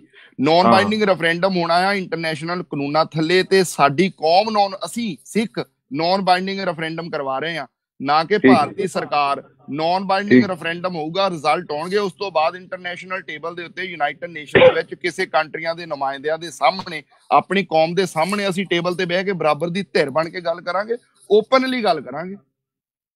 ਤੇ ਮੈਂ ਕੋਈ ਸਵਾਲ ਤੁਹਾਨੂੰ ਨਾ ਪੁੱਛਿਆ ਹੋਵੇ ਲੇਕਿਨ ਤੁਸੀਂ ਫੇਰ ਵੀ ਆਪਣੇ ਵੱਲੋਂ ਸਿੱਖ ਫॉर ਜਸਟਿਸ ਵੱਲੋਂ ਕੋਈ ਗੱਲ ਜਿਹੜੀ ਰਹੀ ਹੋਵੇ ਉਹ ਦੱਸਣੀ ਚਾਹੁੰਦੇ ਦੱਸ ਸਕਦੇ ਜੀ ਭਾਈ ਸਾਹਿਬ ਜੀ ਮੈਂ ਇਹੀ ਬੇਨਤੀ ਕਰਨਾ ਚਾਹੁੰਦਾ ਕਿ ਦੇਖੋ ਇਹ ਜਿਹੜੀਆਂ ਗੱਲਾਂ ਆ ਜਾਂ ਵਿਦੇਸ਼ਾਂ ਵਿੱਚ ਜਿਹੜੇ ਸਿੱਖ ਰਹਿੰਦੇ ਨੇ ਜੇ ਉੱਥੇ ਜਾਂਦੇ ਨੇ ਜਾਂ ਉੱਥੋਂ ਵਾਲੇ ਉਹਨਾਂ ਨੂੰ ਤੰਗੀਆਂ ਦਿੰਦੇ ਨੇ ਜਾਂ ਕਿਸੇ ਵੀ ਤਰੀਕੇ ਨਾਲ ਮੇਰਾ ਅੱਜ ਮੈਂ ਇੱਥੇ ਇਸ ਕਰਕੇ ਨਹੀਂ ਬੈਠਾ ਕਿ ਮੈਂ ਕਿਸੇ ਨੂੰ ਕ੍ਰਿਟਿਸਾਈਜ਼ ਕਰਾਂ। ਪਿਛਲੇ ਸਮੇਂ ਦੇ ਵਿੱਚ ਹੋਰਾਂ ਧੜੇਬੰਦੀਆਂ ਦੇ ਵਿੱਚੋਂ ਵੀ ਬੰਦੇ ਗਏ ਲੇਕਿਨ ਉਸ ਸਮੇਂ ਉਹਨਾਂ ਤੇ ਦੂਸ਼ਣਬਾਜ਼ੀ ਹੁੰਦੀ ਸੀ ਅੱਜ ਕੁਝ ਬੰਦੇ ਗਏ ਆ ਜਿਨ੍ਹਾਂ ਤੇ ਦੂਸ਼ਣਬਾਜ਼ੀ ਹੁੰਦੀ ਆ। ਤੁਸੀਂ 6 ਮਹੀਨੇ ਰੁਕੋ ਥੋੜੇ ਬੰਦੇ ਹੋਰ ਚੱਲ ਜਾਣੇ ਉਹਨਾਂ ਤੇ ਦੂਸ਼ਣਬਾਜ਼ੀ ਹੋ ਜਾਣੀ ਆ। ਮੈਨੂੰ ਇਹ ਸਮਝ ਨਹੀਂ ਲੱਗਦੀ ਕਿ ਅਸੀਂ ਫਿਰ ਸਰਕਾਰ ਨਾਲ ਕਿਹੜੇ ਵੇਲੇ ਲੜਾਂਗੇ। ਸੋ ਮੈਂ ਤਾਂ ਇਹੀ ਬੇਨਤੀ ਕਰਦਾ ਕਿ ਆਪਣਾ ਜਿਹੜਾ ਫੋਕਸ ਆ ਉਹ ਅਸੀਂ ਲੂਜ਼ ਨਾ ਕਰੀਏ। ਸਾਡਾ ਜਿਹੜਾ ਦੁਸ਼ਮਣ ਆ ਉਹ ਆ ਭਾਰਤੀ ਸਰਕਾਰ, ਜਿਹਨੇ ਸਾਨੂੰ ਕੋ ਕੋ ਕੇ ਮਾਰਿਆ, ਉਸ ਦਿਨ ਉਹਨਾਂ ਨੇ ਕੋਈ ਜਥੇਬੰਦੀ ਨਹੀਂ ਦੇਖੀ, ਉਸ ਦਿਨ ਕੋਈ ਉਹਨਾਂ ਨੇ ਧੜਾ ਨਹੀਂ ਦੇਖਿਆ ਕਿ ਟਕਸਾਲੀ ਆਏ ਅਖੰਡ ਕੀਰਤਨੀਆਂ ਆਏ ਮਿਸ਼ਨਰੀ ਆਏ ਕੌਣ ਆ? ਉਹਨਾਂ ਨੇ ਤਾਂ ਸਿਰਫ ਮੋਨੇ ਨਹੀਂ ਬਾਕੀ ਹੱਥ ਵਿੱਚ ਕੜਾ ਦੇਖਿਆ ਤੇ ਉਹਨੂੰ ਉਹਨਾਂ ਨੇ ਮਾਰ ਦਿੱਤਾ। ਸੋ ਇਸ ਕਰਕੇ ਅਸੀਂ ਆਪਣਾ ਫੋਕਸ ਨਾ ਲੂਜ਼ ਕਰੀਏ। ਸਾਰੀ ਸੰਗਤ ਨੂੰ ਬੇਨਤੀ ਆ ਕਿ ਤੁਸੀਂ ਆਪਣੀ ਵੋਟ ਰਜਿਸਟਰ ਕਰੋ ਤੇ ਪ੍ਰਪੇਅਰ ਹੋਵੋ ਕਿ 2020 ਦੇ ਵਿੱਚ ਅਸੀਂ ਪੰਜਾਬੀਆਂ ਨੇ ਆਜ਼ਾਦੀ ਹਿੰਦੁਸਤਾਨ ਤੋਂ ਲੈਣੀ ਆ। ਇਸ ਵੇਲੇ ਤਾਂ ਕਾਮਰੇਡਾਂ ਨੇ ਵੀ ਇਹ ਗੱਲ ਕਹਿਣੀ ਸ਼ੁਰੂ ਕਰ ਦਿੱਤੀ ਆ ਕਿ ਪੰਜਾਬ ਦੀ ਸਰਵੇਲੈਂਸ ਸਿਰਫ ਤੇ ਸਿਰਫ ਅਲੱਗ ਹੋਣ ਵਿੱਚ ਆ। ਜਿਹੜਾ ਧਰਮਵੀਰ ਗਾਂਧੀ ਵਰਗਾ ਇੱਕ ਹਿੰਦੂ, ਇਮਾਨਦਾਰ ਹਿੰਦੂ ਆ, ਇਸ ਵੇਲੇ ਉਹ ਵੀ ਉਹ ਬੇਸ਼ੱਕ ਠੀਕ ਹੈ, ਉਹਦਾ ਤਰੀਕਾ ਵੱਖਰਾ ਆਟੋਨਮਸ ਸਟੇਟ ਦੀ ਗੱਲ ਕਰਦਾ, ਲੇਕਿਨ ਗੱਲ ਹੱਲ ਸਿਰਫ ਤੇ ਸਿਰਫ ਪੰਜਾਬ ਦੀ ਆਜ਼ਾਦੀ ਆ। ਰੈਫਰੈਂਡਮ ਨੂੰ ਸਪੋਰਟ ਕਰੋ ਔਰ ਵੋਟਾਂ ਪਾਓ 2020 ਦੇ ਵਿੱਚ ਤਾਂ ਕਿ ਅਸੀਂ ਆਜ਼ਾਦੀ ਵੱਲ ਆਪਣੇ ਕਦਮ ਵਧਾ ਸਕੀਏ। ਬਹੁਤ ਬਹੁਤ ਧੰਨਵਾਦ ਜੀ ਦਵਿੰਦਰਜੀਤ ਸਿੰਘ ਜੀ, ਸਮਾਂ ਦੇਣ ਲਈ। ਤੇ ਅਸੀਂ ਤੁਹਾਡੇ ਵਿਚਾਰ ਸੰਗਤਾਂ ਸਾਹਮਣੇ ਰੱਖ ਦਿੱਤੇ ਆ। ਸਮਾਂ ਦੇਣ ਲਈ ਧੰਨਵਾਦ ਜੀ। ਵਾਹਿਗੁਰੂ ਜੀ ਕਾ ਖਾਲਸਾ। ਵਾਹਿਗੁਰੂ ਜੀ ਕੀ ਫਤਿਹ। ਦਰਸ਼ਕੋ ਇਹ ਸਨ ਭਾਈ ਦਵਿੰਦਰਜੀਤ ਸਿੰਘ ਜੀ ਜਿਨ੍ਹਾਂ ਨੇ ਵਿਚਾਰ ਰੱਖਿਆ ਤੇ ਅਸੀਂ ਤੁਹਾਡੀ ਕਚਹਿਰੀ 'ਚ ਇਹ ਵਿਚਾਰ ਰੱਖਤੇ ਆ। ਮਿਲਦੇ ਆਂ ਅਗਲੇ ਪ੍ਰੋਗਰਾਮ ਦੇ ਵਿੱਚ। ਦੇਖਦੇ ਰਹੋ ਆਵਾਜ਼ੇ ਕੌਮ ਟੀਵੀ ਵਾਹਿਗੁਰੂ ਜੀ ਕਾ ਖਾਲਸਾ ਵਾਹਿਗੁਰੂ ਜੀ ਕੀ